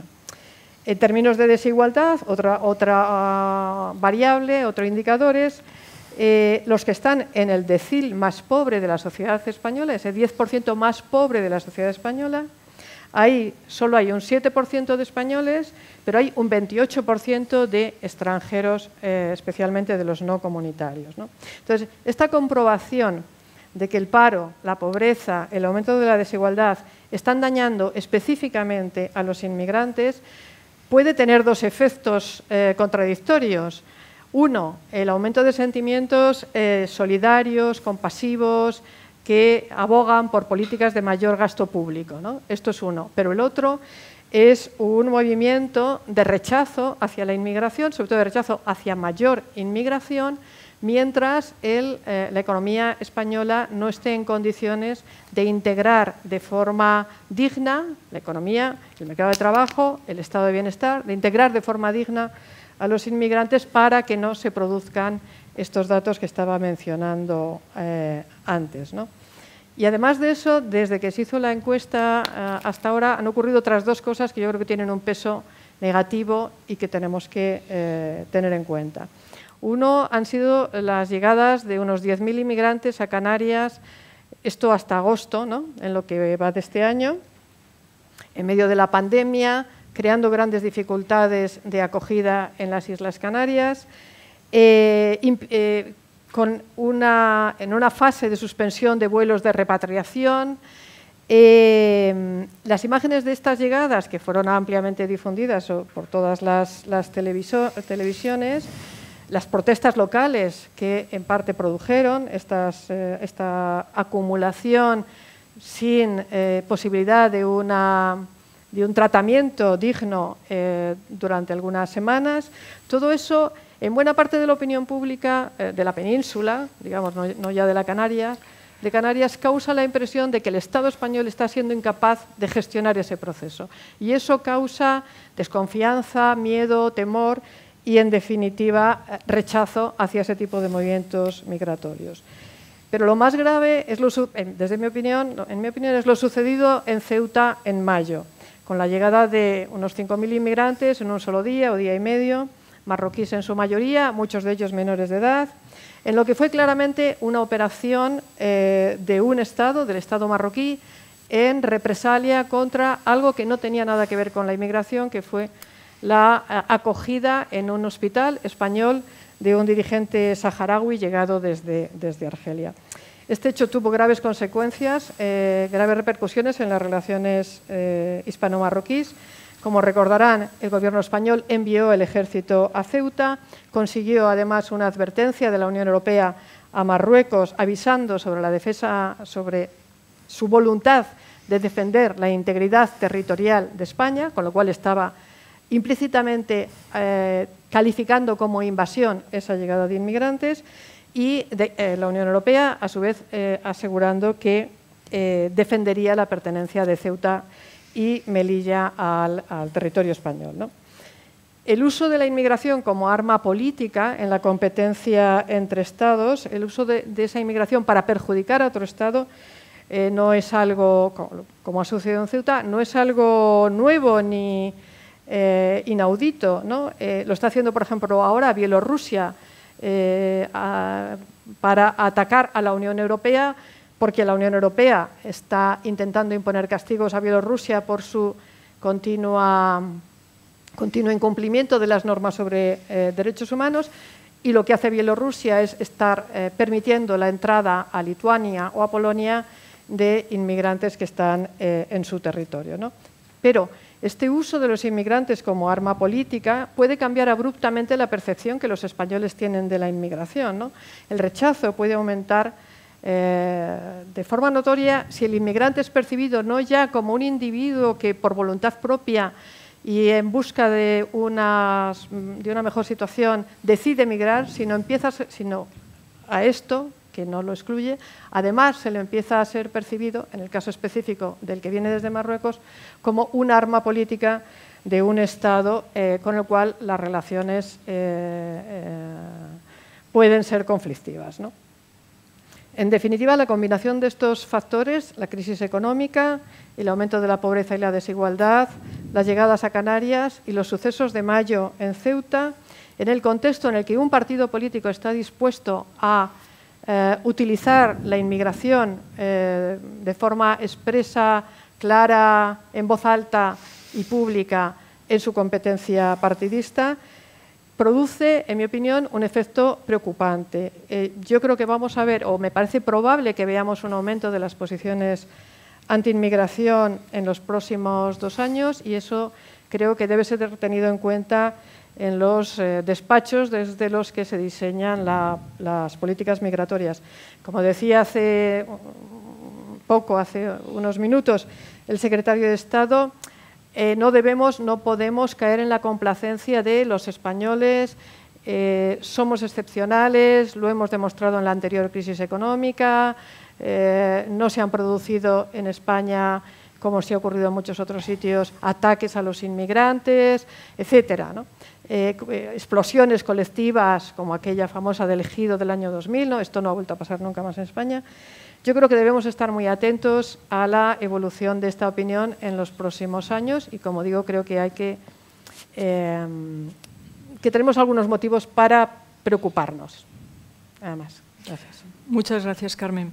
Eh, realmente, claro, nos has planteado distintos tipos de, características o de circunstancias, ¿no? a largo, a medio, a corto plazo, personales, pero efectivamente luego eh, tanto lo que es el discurso político como el de los medios ah, organizan ahí un cóctel eh, impresionante porque pueden cambiar o, utilizar esas condiciones para, para, empeorar mucho las actitudes. Y nosotros lo estamos viendo en la monitorización del discurso de odio que hacemos habitualmente, ¿no? que cuando hemos eh, que cuando han entrado, bueno, pues cuando ocurrió lo de Canarias, eh, hay un discurso contra, contra los inmigrantes marroquíes, que cuando hemos tenido las elecciones de Madrid había un discurso contra los menores no acompañados, el de Ceuta continúa ahora todavía, ¿no? Eh, entonces, em, realmente hay, muchos factores, ¿no? los estructurales y también luego cómo se maneja a nivel de la opinión pública o crisis que han ocurrido en otros sitios. ¿no? Por ejemplo, cuando ocurrieron los atentados en París, la opinión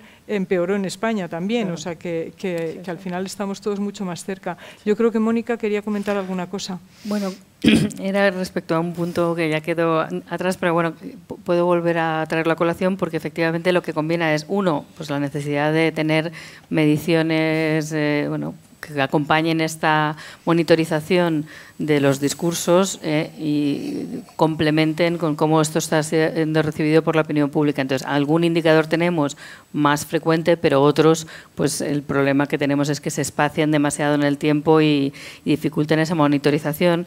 Pero concretamente, el momento en que tenía, te había señalado para intervenir es que es interesante también eh, la combinación de criterios cuantitativos y cualitativos. Es decir, estamos hablando que hay un porcentaje lo que se ha señalado por Sebastián y por ti es que hay un porcentaje, hay las opiniones abiertamente reacias son, minoritarias, que están muy relacionadas con un fenómeno crecientemente preocupante como es la polarización ideológica. Y en ese sentido es interesante porque cuando vemos, lo, lo situabais en el 8, 9 y 10 ¿no? de la escala, las posiciones de extrema derecha constituyen un 10% de la población, también puede estar sujeto a deseabilidad social, todo lo que se mide en las encuestas puede, puede tener problemas de medición, pero se declaran eh, en esas posiciones de 8, 9 y 10, en la actualidad alrededor del 9%. Es la extrema derecha. La extrema derecha, sí, digo por situar en los mismos términos. ¿no? Lo, he mirado, eh, por eso me he traído el móvil, porque eh, justo el parómetro de 8,8 ha sido publicado hoy a las, a, las 12 y media de la mañana, pero es más, es más o menos estable de mes a mes. Luego hay, hay alguna oscilación, pero no, no, no muy fuerte. Con esto no minimizo en absoluto, porque por eso digo la mirada cualitativa. Ese espacio puede tener una presencia cualitativamente mucho más relevante en medios de comunicación. por tanto, las encuestas nos sirven para lo que nos sirven, pero muchas otras herramientas nos permiten ver que a lo mejor ese, ese mensaje está mucho más sobredimensionado en otros espacios y, por tanto, llama la atención sobre la necesidad de monitorizar en qué aspectos puede estar calando más este discurso. A lo mejor lo es menos en los indicadores genéricos. En ese sentido, yo veo elementos de preocupación, pero también algunos más optimistas. Por ejemplo, eh, mencionábamos lo de los principales problemas.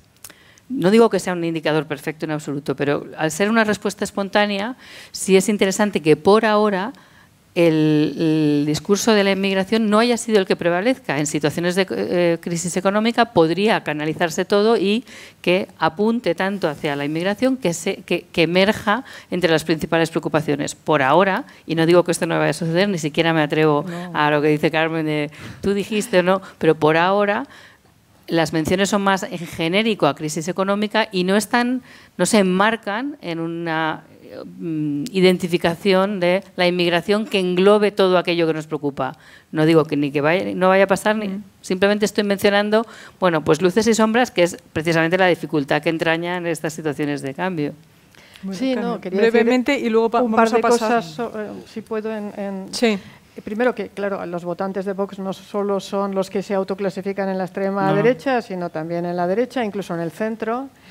Eh, luego, que en situaciones de grave crisis económica siempre serán más importantes los aspectos económicos que la inmigración, eh, porque recordemos que cuando ocurrió aquello de la inmigración llegó al 50 de menciones, estábamos en un periodo de, altísimo crecimiento económico. Estábamos, bueno, en, aquel momento en el que la economía española se ponía como modelo en el resto de Europa, porque aquí crecíamos y crecíamos y crecíamos.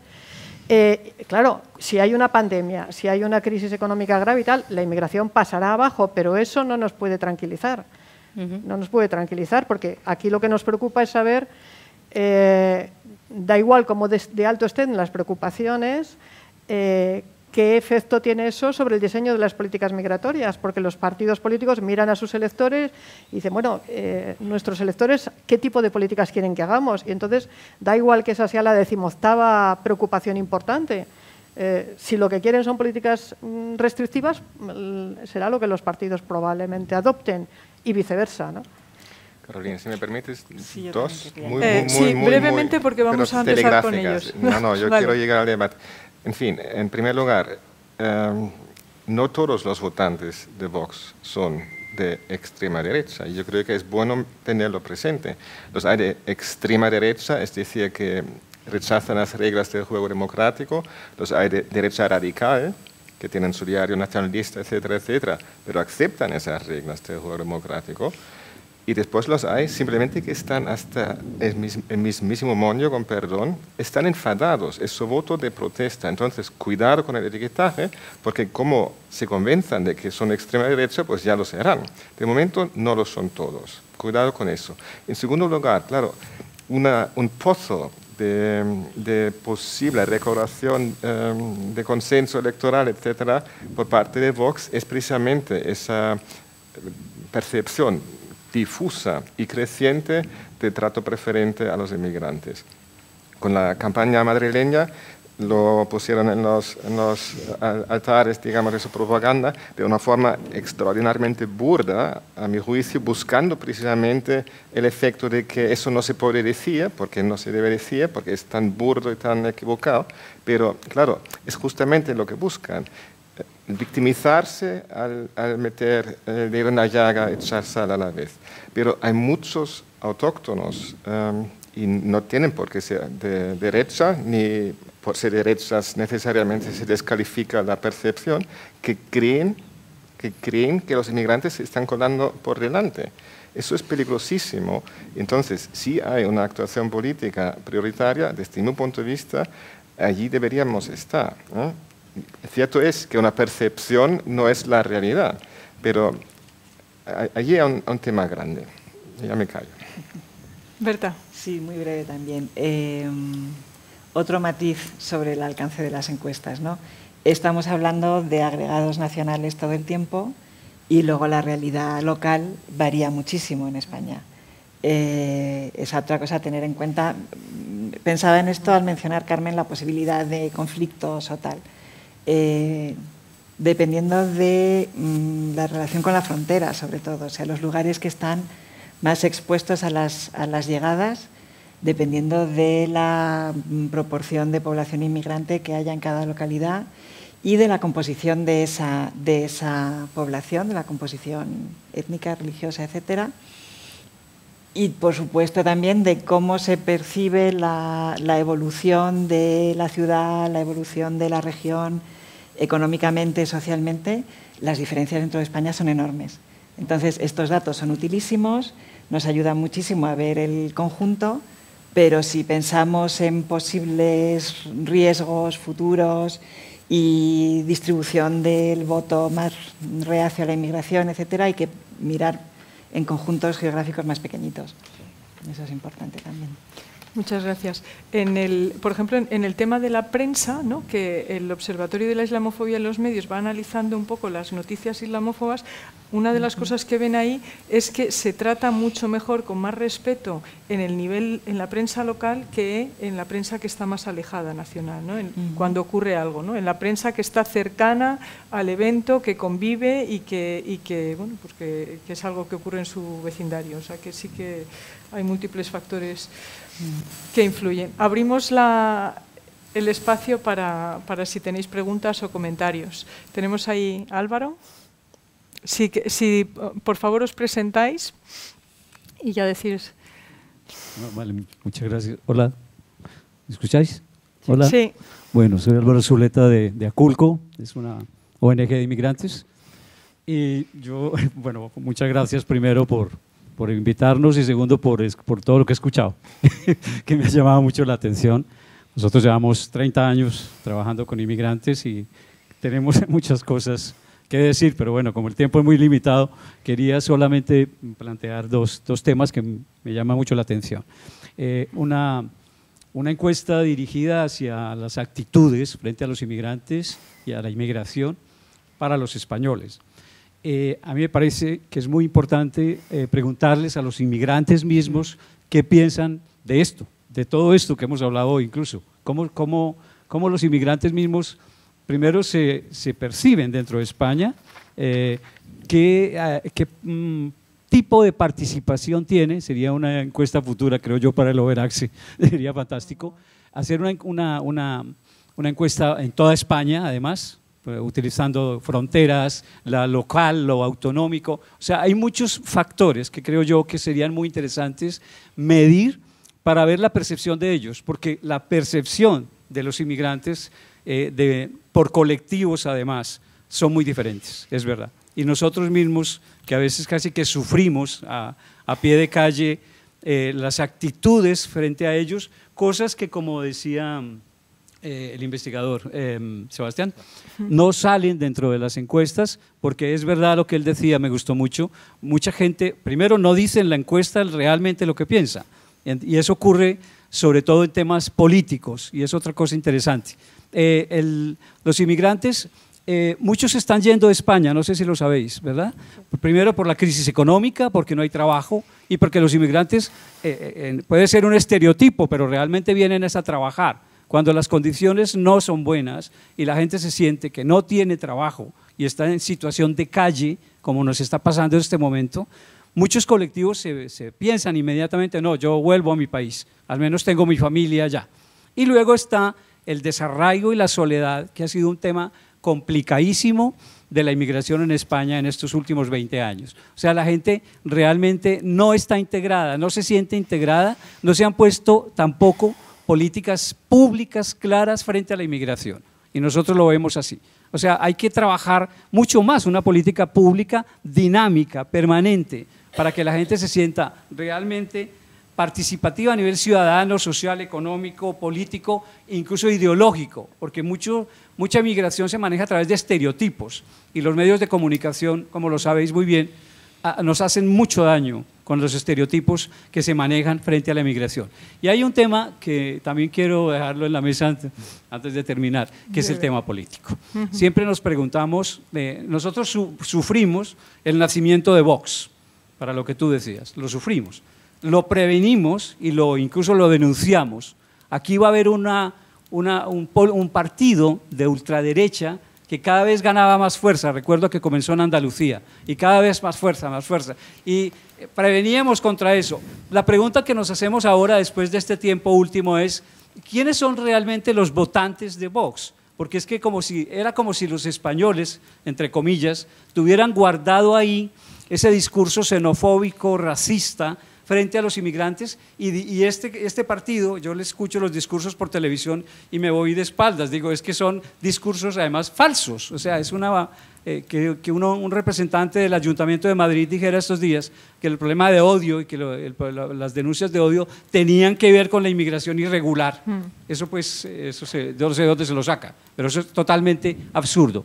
Termino. Hay que mirar bien cómo este nuevo espectro político que se ha generado en España en los últimos años no nos lleve, como decías tú, a un futuro próximo donde tengamos que enfrentarnos realmente a una política xenofóbica y racista, cuando Europa está poniendo muchos elementos para que España no caiga en eso, frente a acciones concretas donde realmente nosotros podamos paliar los crímenes de odio, todos, digo yo, no solamente los españoles, sino los inmigrantes, que somos actores y partícipes de estos procesos que se vuelven muy complicados. Muchas gracias. Muchas gracias, Álvaro.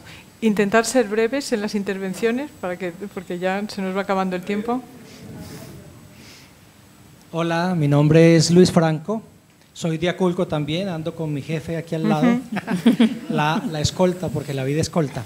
Eh, una pregunta general, y es que si España en algún momento puede escapar a la pregunta dicotómica de si somos mejor o peor sociedad con inmigrantes, eh, cuando hay otras urgencias.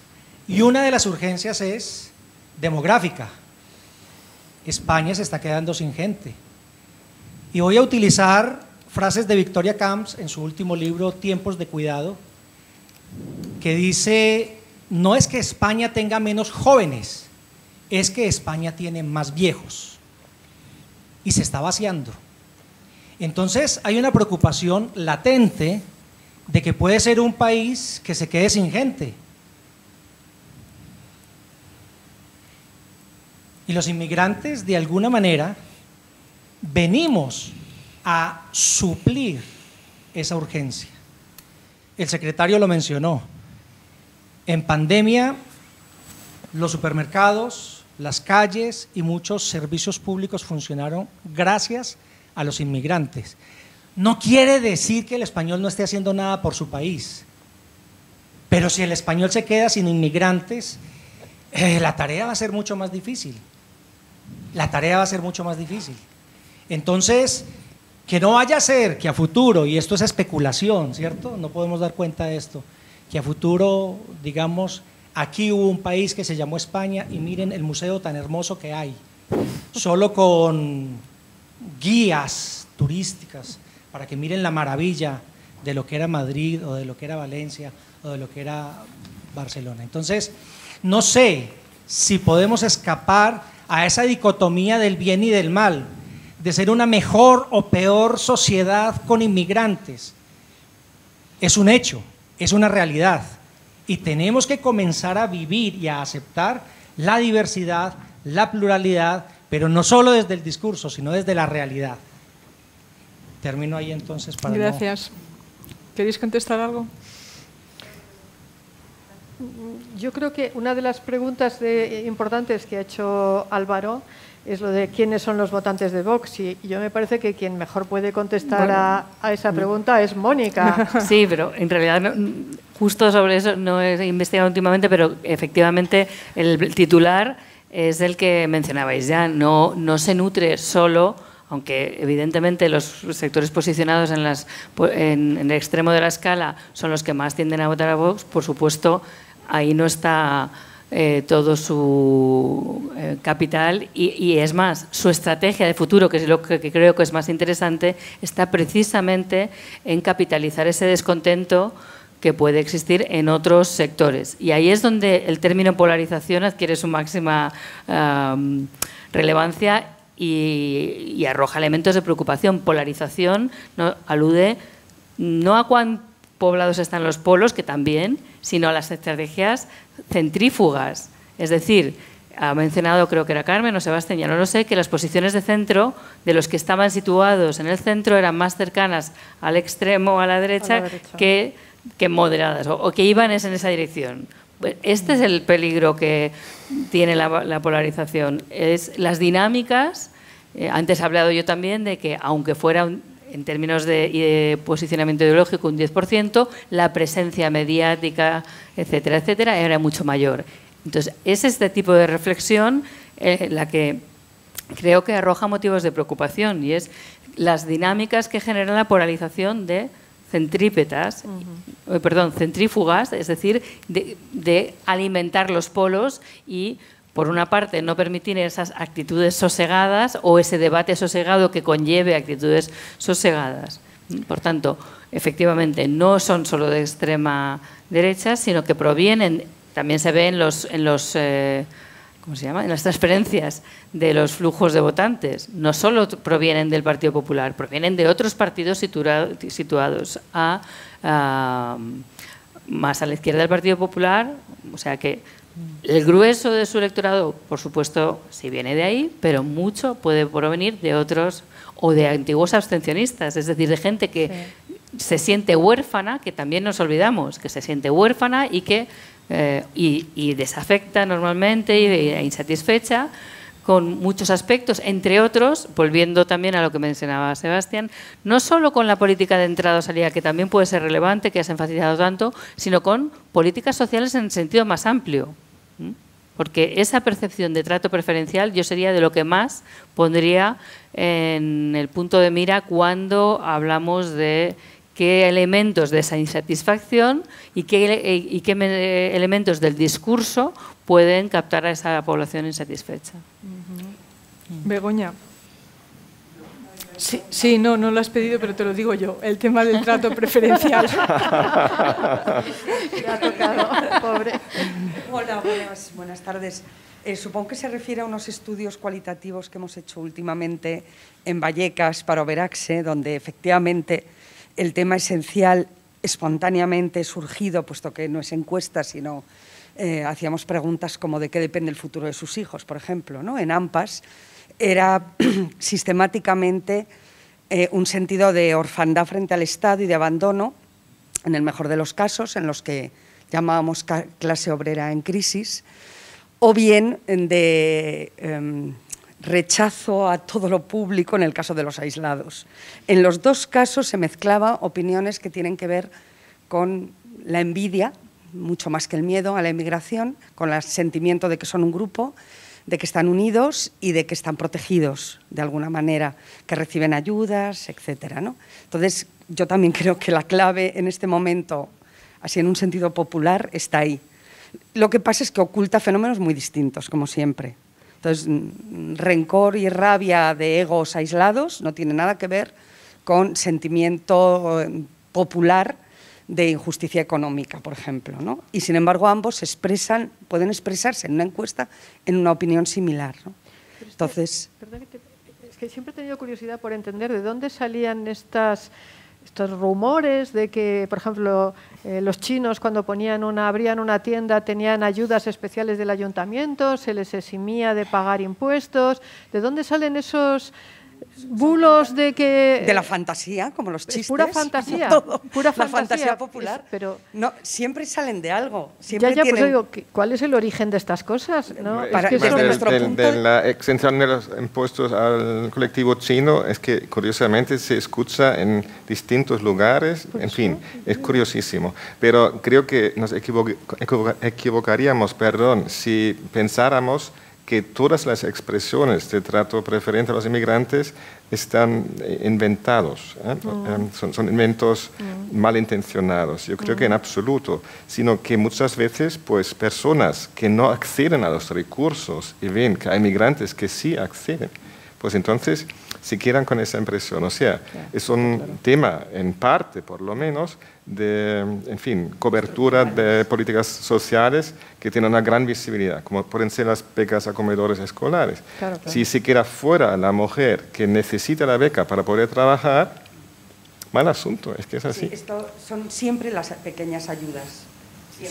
Nunca es la sanidad ni nunca hemos oído eh, le dan trasplantes a los de fuera, jamás. Es decir, cuando es universal, objetivo, es decir, cuando el Estado no es un padre, sino que es algo público y se asume como tal, eh, no, se produce ese discurso. Y claro que hay base concreta y material, y tiene mucho que ver con las ayudas eh, pues, municipales, autonómicas, que son muy escasas y que tienen cierta, la gente considera cierta arbitrariedad. En realidad también es que los inmigrantes están en la parte más baja económica y por lo tanto, ante la escasez, muchas veces eh, son recursos que, les llegan, claro. esa, es, la clave, digamos, o sea, recursos escasos como la plaza pública en una guardería, que es de las, una guardería pública son las más deseadas, eh, con largas colas de espera, con una demanda mucho mayor que su oferta, ¿a quién se le da la plaza? Pues a quien demuestra condiciones económicas más difíciles, etcétera. ¿Y quién puede demostrar eso? Pues en buena parte los propios los inmigrantes y por esa razón les va a ellos la plaza, pero eso provoca resentimiento entre los no inmigrantes que se encuentran con que sin haber variado ellos su posición, ahora resulta que están una escala por encima de lo que estaban antes de que llegaran los inmigrantes. y por lo tanto la plaza les va a los a las familias inmigrantes y no a ellos. Esto crea un problema político. E incluso, lo mencionaba sería interesante saber la posición dentro de los propios eh, inmigrantes, porque no necesariamente solo es entre eh, una cosa dicotómica, sino que inmigrantes más asentados pueden percibir esa misma sensación y de hecho, sí. exacto, de, hecho emerge, y no solo cuando se pregunta sobre acceso a servicios, sino incluso sobre derechos, sobre si ampliación del derecho de voto o no. Hay una eh, gradación que no es simplemente nosotros versus ellos, sino eh, también de quien lleva más tiempo y lleva menos tiempo, por lo menos en, a tenor de las investigaciones, porque ahí es, es cierto que las eh, datos de encuesta son menos finos, pero aún así también apuntan en esa dirección. La encuesta social europea eh, se dirige a población residente, entonces como hay muy poco número hay que ser muy cauteloso con la interpretación, pero en cualquier caso apunta en esa dirección y acuérdate que en las encuestas de Overaxe se recoge esa idea de, con igual, que es un poco más eh, difícil de medir porque es muy abstracta, a igualdad de situación económica los inmigrantes reciben más ayudas escolares, pensando también en libros, comedor, etcétera, que es difícil de captar, pero, pero funciona en esa dirección, la capta un pelín una realidad que es mucho más fácil, eh, o sea, que es mucho más adecuada para captar en ese tipo de estrategia de investigación que comentabas. Y decía antes Álvaro esto de eh, sería importante que se hicieran más encuestas entre inmigrantes. La verdad es que algunas sí se hacen, hay gobiernos regionales que las hacen, hay encuestas dirigidas a, colectivos específicos, por ejemplo a la población musulmana, ¿no? Eh, pero además tenemos una base, tenemos una riqueza enorme en el CIS, porque cada vez más, como la población de origen inmigrante pesa y está recogida en las muestras del CIS, de las grandes encuestas, entonces podemos hacer una, uh, un cruce separando solo a los que son de origen inmigrante y, inmigrante y viendo cuáles son sus opiniones sobre los temas específicamente migratorios. Eso está poco trabajado que yo sepa, pero es, nos permitiría saber mucho mejor cuáles son sus posiciones. ¿sí? Sebastián, ¿tú querías decir Sí, quería, bueno, eh, voy a recoger el hilo de lo último que ha dicho Carmen, pero quería decir otra cosa también. Pues claro, hay un problema de números, ¿eh? no es que nos interese eh, la percepción de los inmigrantes, pero la primera pregunta después que llega es, ¿cuál de ellos? Porque claro, es un, es, un, es un mundo, y pensar que son todos iguales y que se perciben y que son percibidos de la misma, que no es así. Entonces, si se quiere, respetando las leyes de la metodología de encuestas, que precisa un número de observaciones determinado, pero no solo eso, una selección probabilística de los encuestados para cada uno de esos distintos colectivos, son encuestas, yo hice una en su momento en Andalucía, eh, es muy complicado. Es muy complicado, es muy exigente, es caro. Eh, no es casual que en España a, a nivel nacional se hiciera una sola y creo que la consideración del INE es que es irrepetible, porque es un enorme esfuerzo y, en fin, darle continuidad. Entonces, yo estoy de acuerdo, el, el truco está en sobreponderar en las muestras de encuestas generales para tener más casos y poder respetar, digamos, los leyes de cálculo matemático que exige pues, la amortización de esas encuestas. Pero lo que quería decir... Um, antes es que en nuestros informes, por ejemplo, el que salió de ese proyecto andaluz de hace casi 20 años, en nuestros informes pusimos eh, énfasis en la necesidad de tender, intentando evitar esas percepciones de trato preferente, pues hace 20 años casi. O sea, no es que no, eh, indicios de que esto hace daño y de que habría que reaccionar desde las políticas sociales, pues sinceramente indicios no los tenemos desde anteayer, los tenemos desde hace muchos años. Habría que pensar en cómo reaccionar con el desfase que estoy diciendo, que es notable, porque además son, son políticas relativamente baratas. No es cara una plaza, un comedor, pensando en la que nos estamos jugando. Entonces, en ese sentido, en España nos libramos al menos de una cosa, lo cual es un bien y un mal, que es la escasez de vivienda pública, porque muchos países tienen un grave problema político respecto a quién se adjudica la vivienda pública. Aquí, como no tenemos vivienda pública, nos fastidiamos todos por igual. al menos ese problema no lo tenemos en relación con la inmigración. Sí, Susan.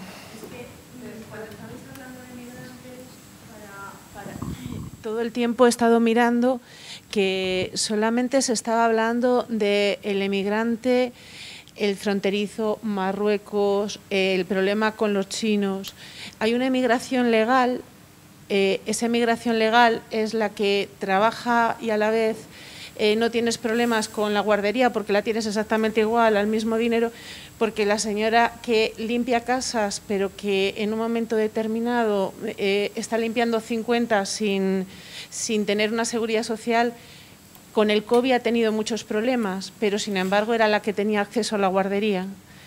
Y esos problemas sí que hacía que la gente en un momento determinado tuviera un problema de decir, ay, fulanita de tal tiene ayudas y yo no tengo, y yo sí estoy aquí colaborando con la seguridad social y tengo un hijo y soy española o, o soy emigrante y he llegado hace 15 años, no como ella. Entonces, ese sí es un problema pero mm, si se hicieran políticas, por ejemplo, como dar las nacionalidades a la gente, mm, a la gente hispana, que se, ha estado haciendo durante bastante tiempo, ahora querían hacerlo de los, abuelos y tal, esa emigración normalmente suele ser una emigración que viene, que viene con papeles, que, que viene con trabajo, o que busca trabajo de la misma manera y, encontraríamos menos problemas, porque de la que siempre estamos hablando es, es, de la otra emigración que se une a bolsas de, a, bolsas mm, mm, de economía sumergida o que vienen y tienen todos los problemas del mundo.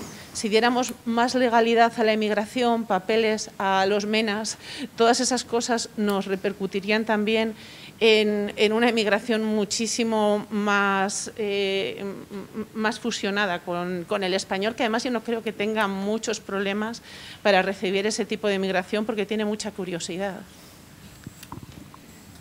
Yo creo que ahí te tocas un asunto que es la diferente, la diferente visibilidad que tienen unos tipos de inmigrantes y otros para la opinión española. Cuando los entrevistados responden en las encuestas, no están pensando en la persona que lleva mucho tiempo aquí, que está perfectamente eh, establecida en términos de estatus legal, en términos de convivencia, en términos de relación con vecinos, amigos, colegio, trabajado, trabajo, etc. No están pensando en eso, están pensando en los que para ellos son más visibles precisamente porque son problemáticos, en algún sentido. Entonces, mm, eso también afecta a la opinión que recogemos en los estudios afecta a qué nacionalidades son más visibles, como hemos visto en la presentación, afecta a qué estados, qué estatus legales son más visibles, qué tipos de empleo, qué lugares del país, qué formas de llegar. Em, y esto es difícil de evitar, siempre va a ocurrir, que la inmigración que en los medios de comunicación se presenta como un problema esté más presente en la opinión pública. ¿Más comentarios? ¿Más preguntas? Yo, tendría un comentario también sobre esa pregunta. Y es que la mayoría de la población española desconoce la realidad del estatus administrativo de la amplísima mayoría de los inmigrantes. Se ha eternizado em, pues, el concepto de que los inmigrantes están mayoritariamente en situación administrativa precaria o en la irregularidad, cuando no es en absoluto así desde hace muchos años. Entonces, allí hay, mucha confusión y tengo entendido que en parte porque la política no ha querido hacer ruido, y lo cual es también muy comprensible. Pero eso tiene un coste. Entonces, si tenemos dos millones de nacionalizados, nadie lo sabe, que los expertos que trabajan en el tema, pero ¿quién cifraría en dos millones dos nacionalizados? Nadie, nadie publicita ese dato. Bueno, vamos a ver, tenemos tres intervenciones más, sed breves porque vamos a cerrar ya. ¿Por ahí había alguna más? No. Eh, ya, vale. Jairo. No, espera, espera, que le toca a Jairo primero. Sí, sí. Tú, eres, tú eres el tercero. Eh, ¿Se me oye más Breve. vale. Eh, bueno, soy Jairo, soy becario en el Overache y mi pregunta es si habéis observado una diferencia entre cómo se expresan los españoles hacia los inmigrantes en redes sociales y cómo lo hacen en las conversaciones del día a día. Nosotros monitorizamos el discurso de odio en línea en las distintas plataformas online, en las distintas redes sociales, y vemos cómo existe como una cierta desinhibición y como que hay muchísima más violencia que en las conversaciones que vemos eso en el día a día. ¿Sabéis de estudios, análisis? ¿Cuál es vuestra opinión al respecto? Muchas gracias, Jairo. Eh, recogemos las tres preguntas y luego las respuestas y ya vamos a cerrar. Marlis. Ah, tú también estabas, Adrián. Vale, pues Adrián. Muchas gracias, soy Adrián, soy también estudiante de prácticas en el observatorio y tengo dos preguntas. La primera, si en el estudio se ha tenido en cuenta la variable de género y la variable territorial dentro de España. Y la segunda, en caso afirmativo, es una diferenciación eh, destacable, tiene algo que ver. Bueno, más que tiene algo que ver, es algo que se pueda destacar del estudio. Gracias. Marlis. Espera un segundo para que, tengas el micro.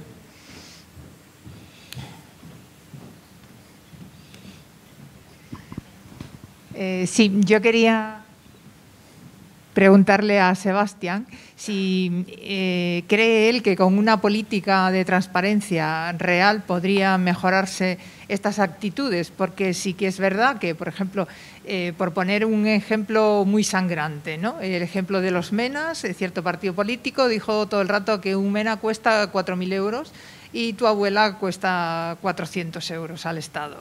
Entonces, si realmente hubiera una política por parte del Estado eh, que mm, utilizara las normas tan modernas de transparencia, que pudiéramos responder, por ejemplo, desde el Oberase, desde el Foro de los Inmigrantes, pudiéramos responder.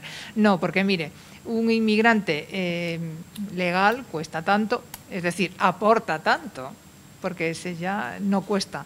Eh, la atención en costas a los que llegan en pateras cuesta tanto, pero al cabo de X tiempo pues los tenemos integrados, establecidos, mm, algo así. Porque realmente eso es lo que se echa de menos. Yo cuando me preguntan o cuando estoy en algún sitio y empiezan a decir esas cosas, yo solamente puedo decir, no, a mí dadme datos, porque eso no es verdad. Pero es que es mi palabra contra la de las otras personas. Yo no sé realmente, no hay una política de transparencia y creo que el no hacer ruido mm, es inútil en estas cuestiones. No haciendo ruido simplemente amplificas. Muchas gracias. La última pregunta y luego ya respondemos a todo y, cerraremos, ¿eh? porque muy breve. Todos sabemos que mayor control, mayor irregularidad. Los países que se ponen muy rígidos con políticas de control comienzan a haber más irregularidad en su territorio. Eso, eso sucede. Y lo otro es que, bueno, dejo ahí nomás ese comentario porque necesito un contexto muy grande. Ya, era solo eso. Volvemos para acá. ¿Quién quiere contestar? Carmen. Yo, bueno, yo dejo las, las preguntas que tienen claro, eh, que han sido dirigidas claramente a otra persona. Eh, respecto a la pregunta que hacía Jairo, yo no puedo contestar, no sé, yo creo que es el Overaxe precisamente el que tiene investigaciones sobre el discurso del odio en redes sociales. Yo personalmente no los conozco. Eh, sí sé genéricamente que en las redes sociales la gente se calienta mucho más que en las conversaciones normales, quizá porque no se le está viendo la cara, no sé por qué, y entonces las expresiones son mucho más violentas, pero no, no, no puedo contestar esa pregunta. Em, el comentario que ha hecho Luis ahora en esta su segunda intervención, yo no estoy muy de acuerdo con ello. Creo que muchos estados que, tienen, eh, que, han, que han dedicado muchos recursos a impedir que entre inmigración irregular lo han conseguido bastante. Yo recuerdo una vez que coincidí en una especie de congreso internacional en el que se hablaba de inmigración irregular y había expertos que presentaban los casos de sus países. Italia decía, pues en España, calculamos que tenemos no sé cuántos miles. España, pues en España, esto era en el año 2002, pues teníamos una cifra enorme de inmigrantes irregulares. Eh, eh, Francia, tanto, Reino Unido, tanto. Y luego llegó Dinamarca y dijo, nosotros tenemos 35. 35 personas con nombres y apellidos, las conocían a todos y sabían dónde estaban. ¿Por qué? Porque era un Estado que practicaba unas políticas ya desde muy antiguo de control mm, radical de la inmigración y de la población en general. O sea, allí no podías vivir si no tenías tu tarjeta, porque no podías ni coger el autobús sin esa tarjeta que te ha dado el Estado en algún momento. O sea que esta que se hace muchas veces de esta ecuación entre mayor control, mayor irregularidad, en la realidad no funciona así. O sea, eh, solo. eh, sí. Si nosotros exploramos prensa, investigaciones, sí. Naciones Unidas, sí. organizaciones internacionales, nadie tiene una cifra de cuántos son los regulares y cuántos son los irregulares. Yo te digo, Dinamarca en algún momento la tenía. Y hay, y hay países, y hay países que han intentado eh, establecer políticas de regularización, sí. pero más como control policial sí. y administrativo sí. que humanitario. Ajá. Sí, sí, claro. Aquí la, los irregulares en este momento? Aquí la variable humanitaria no es la que no es la prioritaria, mm. sin duda, obviamente. Mónica. Bueno, muy brevemente para dejar el tiempo en realidad a Sebastián, porque es el que tiene que contestar sobre las preguntas. Solo comentar que tampoco soy experta en el tema de Twitter, pero sí tenemos que tener en cuenta que Twitter no es representativo de la población, aunque es muy interesante eh, estudiar todos los eh, discursos que hay ahí, porque aunque no sea una muy representativa, vuelvo a la idea que comentaba antes, que no es solo mm, cuantificar, sino también el impacto cualitativo o la extensión que pueda tener a otros ámbitos los discursos que se mueven. Entonces, por tanto, hay que estar muy atento y combinar esa idea de la intensidad, de estudiar la intensidad con la extensión de mm. diferentes discursos, expresiones, fenómenos, etcétera. Eh, entonces, creo que es muy, muy interesante mirarlo y combinarlo con esa otra mirada más general que nos pueden aportar encuestas, etcétera, etcétera.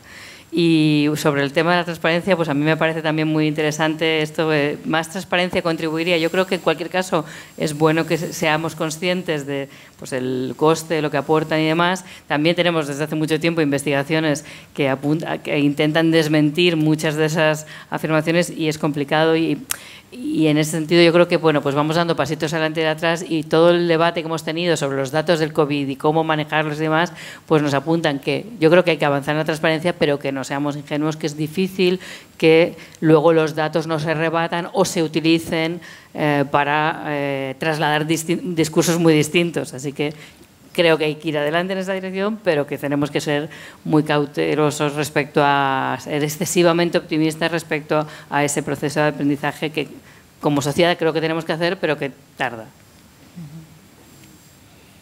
sí, añadiría únicamente en el tema de la transparencia, por supuesto que es importantísima y que es importante que los datos de, que responden a las provocaciones estén disponibles sobre todo para los periodistas, ¿no? que los utilicen y que los encuentren fácilmente para poder responder rápidamente a las provocaciones.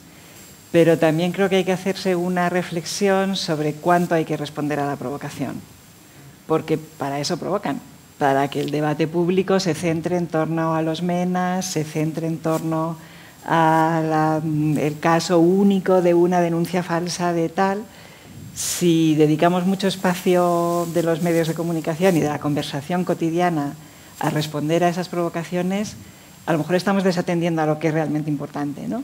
Estamos eh, malgastando nuestras energías y dando pábulo a discusiones que a lo mejor no son las que tendríamos que estar teniendo. O sea que la cosa tiene matices, ¿no? Eso sería lo único. Sebastián, si quieres, responde a las, a las, preguntas que sean y ya cerramos también. Pues yo me veo interpelado sobre dos asuntos concretamente. Uno sobre qué datos tenemos. Eh, lógicamente sí que hemos cogido cuotas por sexo y edad, lógicamente, no hay encuesta que se parece que no lo haga. Entonces es uno de los ejes, lógicamente, de análisis. En fin, obvios y que siempre nos tomamos a pecho. En cuanto a, las localidades, pues recogimos el municipio de residencia de los encuestados, lo cual nos permite no solo saber el tamaño del municipio, em, la proporción de inmigrantes con un cruce de ficheros em, y también pues agrupar a comunidades autónomas y en su caso a agrupaciones de comunidades autónomas, el sur peninsular, el centro de la península, etcétera, etcétera. En fin, da mucho juego y quien se plantea organizar una encuesta, saber dónde viven los, los encuestados merece la pena totalmente. Eh, en lo que es la transparencia, que es un tema mío, mío realmente um, que me ha entretenido mucho uh, en términos de reflexión, ¿qué hay que hacer? Eh? Entonces, yo, yo estaba, cuando la crisis económica de 2008, yo estaba preocupadísimo porque digo, ahora se nos viene encima una y el rebote antimigrante puede ser monumental. Y no pasó nada, entre comillas. Entonces, yo tengo entendido que en gran parte porque la clase política um, que llevaba el discurso institucional en aquella época, pues decidió no usar el tema. Y hay que reconocerle al gobierno de Rajoy cuando entraron no entraron en polémica con eh, las políticas migratorias socialistas, sino que optaron expresamente por no hacer ruido. Ahora, yo aprecio que eso puede también tener un coste. Y el coste sería a medio plazo que la ciudadanía, si no sabe cómo evolucionar, por ejemplo, el hecho migratorio en términos demográficos, en términos administrativos, en términos de acceso a derechos sociales, puede llegar un momento en el que la ciudadanía se vea engañada. O sea, que eso no es lo que estaba hablado. ¿eh? O sea, que la realidad es otra de la que se está dibujando, que se ha estado dibujando. Ese es un riesgo, creo que hay que tenerlo en cuenta, pero hay que reconocer que no hacer ruido durante toda esa fase de derrumbe del mercado laboral, en principio ha funcionado francamente muy bien.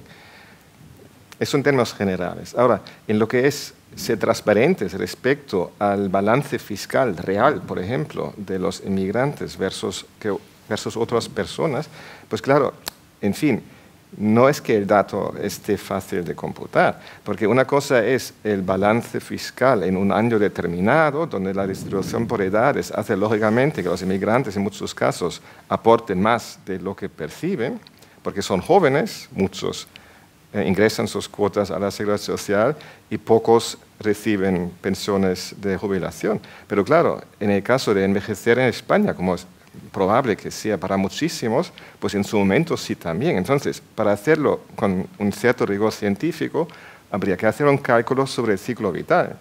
Entonces, ahí hay que fichar ya a los economistas eh, expertos en eso. Entonces, mi previsión, y un estudio que hicimos años atrás apunta en ese sentido, es que al final no va a ser un dato de que podamos vanagloriarnos enormemente, porque si seguimos todo el ciclo vital, pues el balance será neutro. Igual eso en términos políticos también es un dato interesante, pero no es como decía, yo cojo lo que entra hoy, lo que sale hoy y ese es mi balance, no se debería hacer así. Pero bueno, en términos generales, em, la transparencia yo creo que es una virtud en general en la gestión de las políticas públicas.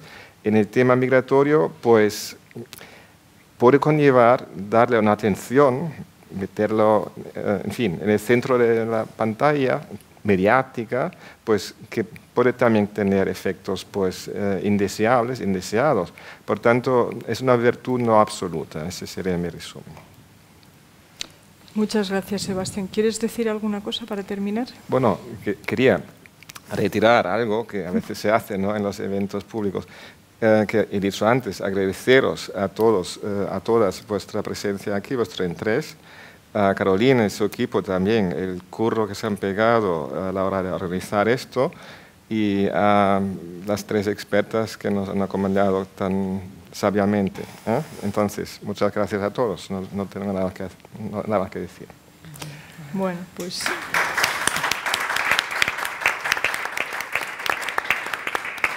Nosotros también os queremos dar las gracias a todos, para empezar a, vosotros, a Sebastián, por, querer presentar los resultados aquí, a nuestras magníficas expertas, que la verdad es que tenemos relación con ellas de, antes y, es un placer siempre poder, poder debatir. Seguiremos haciéndolo, seguiremos eh, en la evolución de, este trabajo, ¿no? a ver cómo termina. El resumen de hoy lo tendréis colgado, en, que está colgado ya en nuestra página web. Seguiremos trabajando también, tenemos algún otro seminario ahora a finales de, este mes, de septiembre, sobre la aportación de, de los afrodescendientes a España y otro en noviembre sobre cómo comunicar el tema de la lucha contra el racismo y la xenofobia, porque el tema de la comunicación, que, también ha salido aquí, es importante, a veces empeoras las cosas en vez de mejorarlas. Os damos las gracias a vosotros por el interés y tenéis un, refrigerio ahora aquí fuera, y a mis compañeros del observatorio, que como veis tenían varias ideas para, para trasladarle a nuestro secretario de Estado y a nuestros estudiantes en prácticas, ¿no? que nos aportan bueno, pues, trabajo, mucho entusiasmo y juventud. Y juventud tanta que cuando entran en, nuestra, eh, que cuando llegan al edificio de José Abascal y pasan por seguridad y les preguntan, oye, ¿tú quién eres? Dice, yo soy becaria. Ah, entonces vas a la guardería. ¿no? Esto me lo han contado esta mañana que les ha pasado más de uno. Los demás somos tan viejos que cuando ven a unos tan jóvenes piensan que van a la guardería que tenemos allí. Bueno, muchísimas gracias a todos. Acabamos aquí y si queréis alguna pregunta más que se ha quedado en el tintero, pues aprovechamos ahora que tenemos ahí fuera un refrigerio. Gracias. Gracias.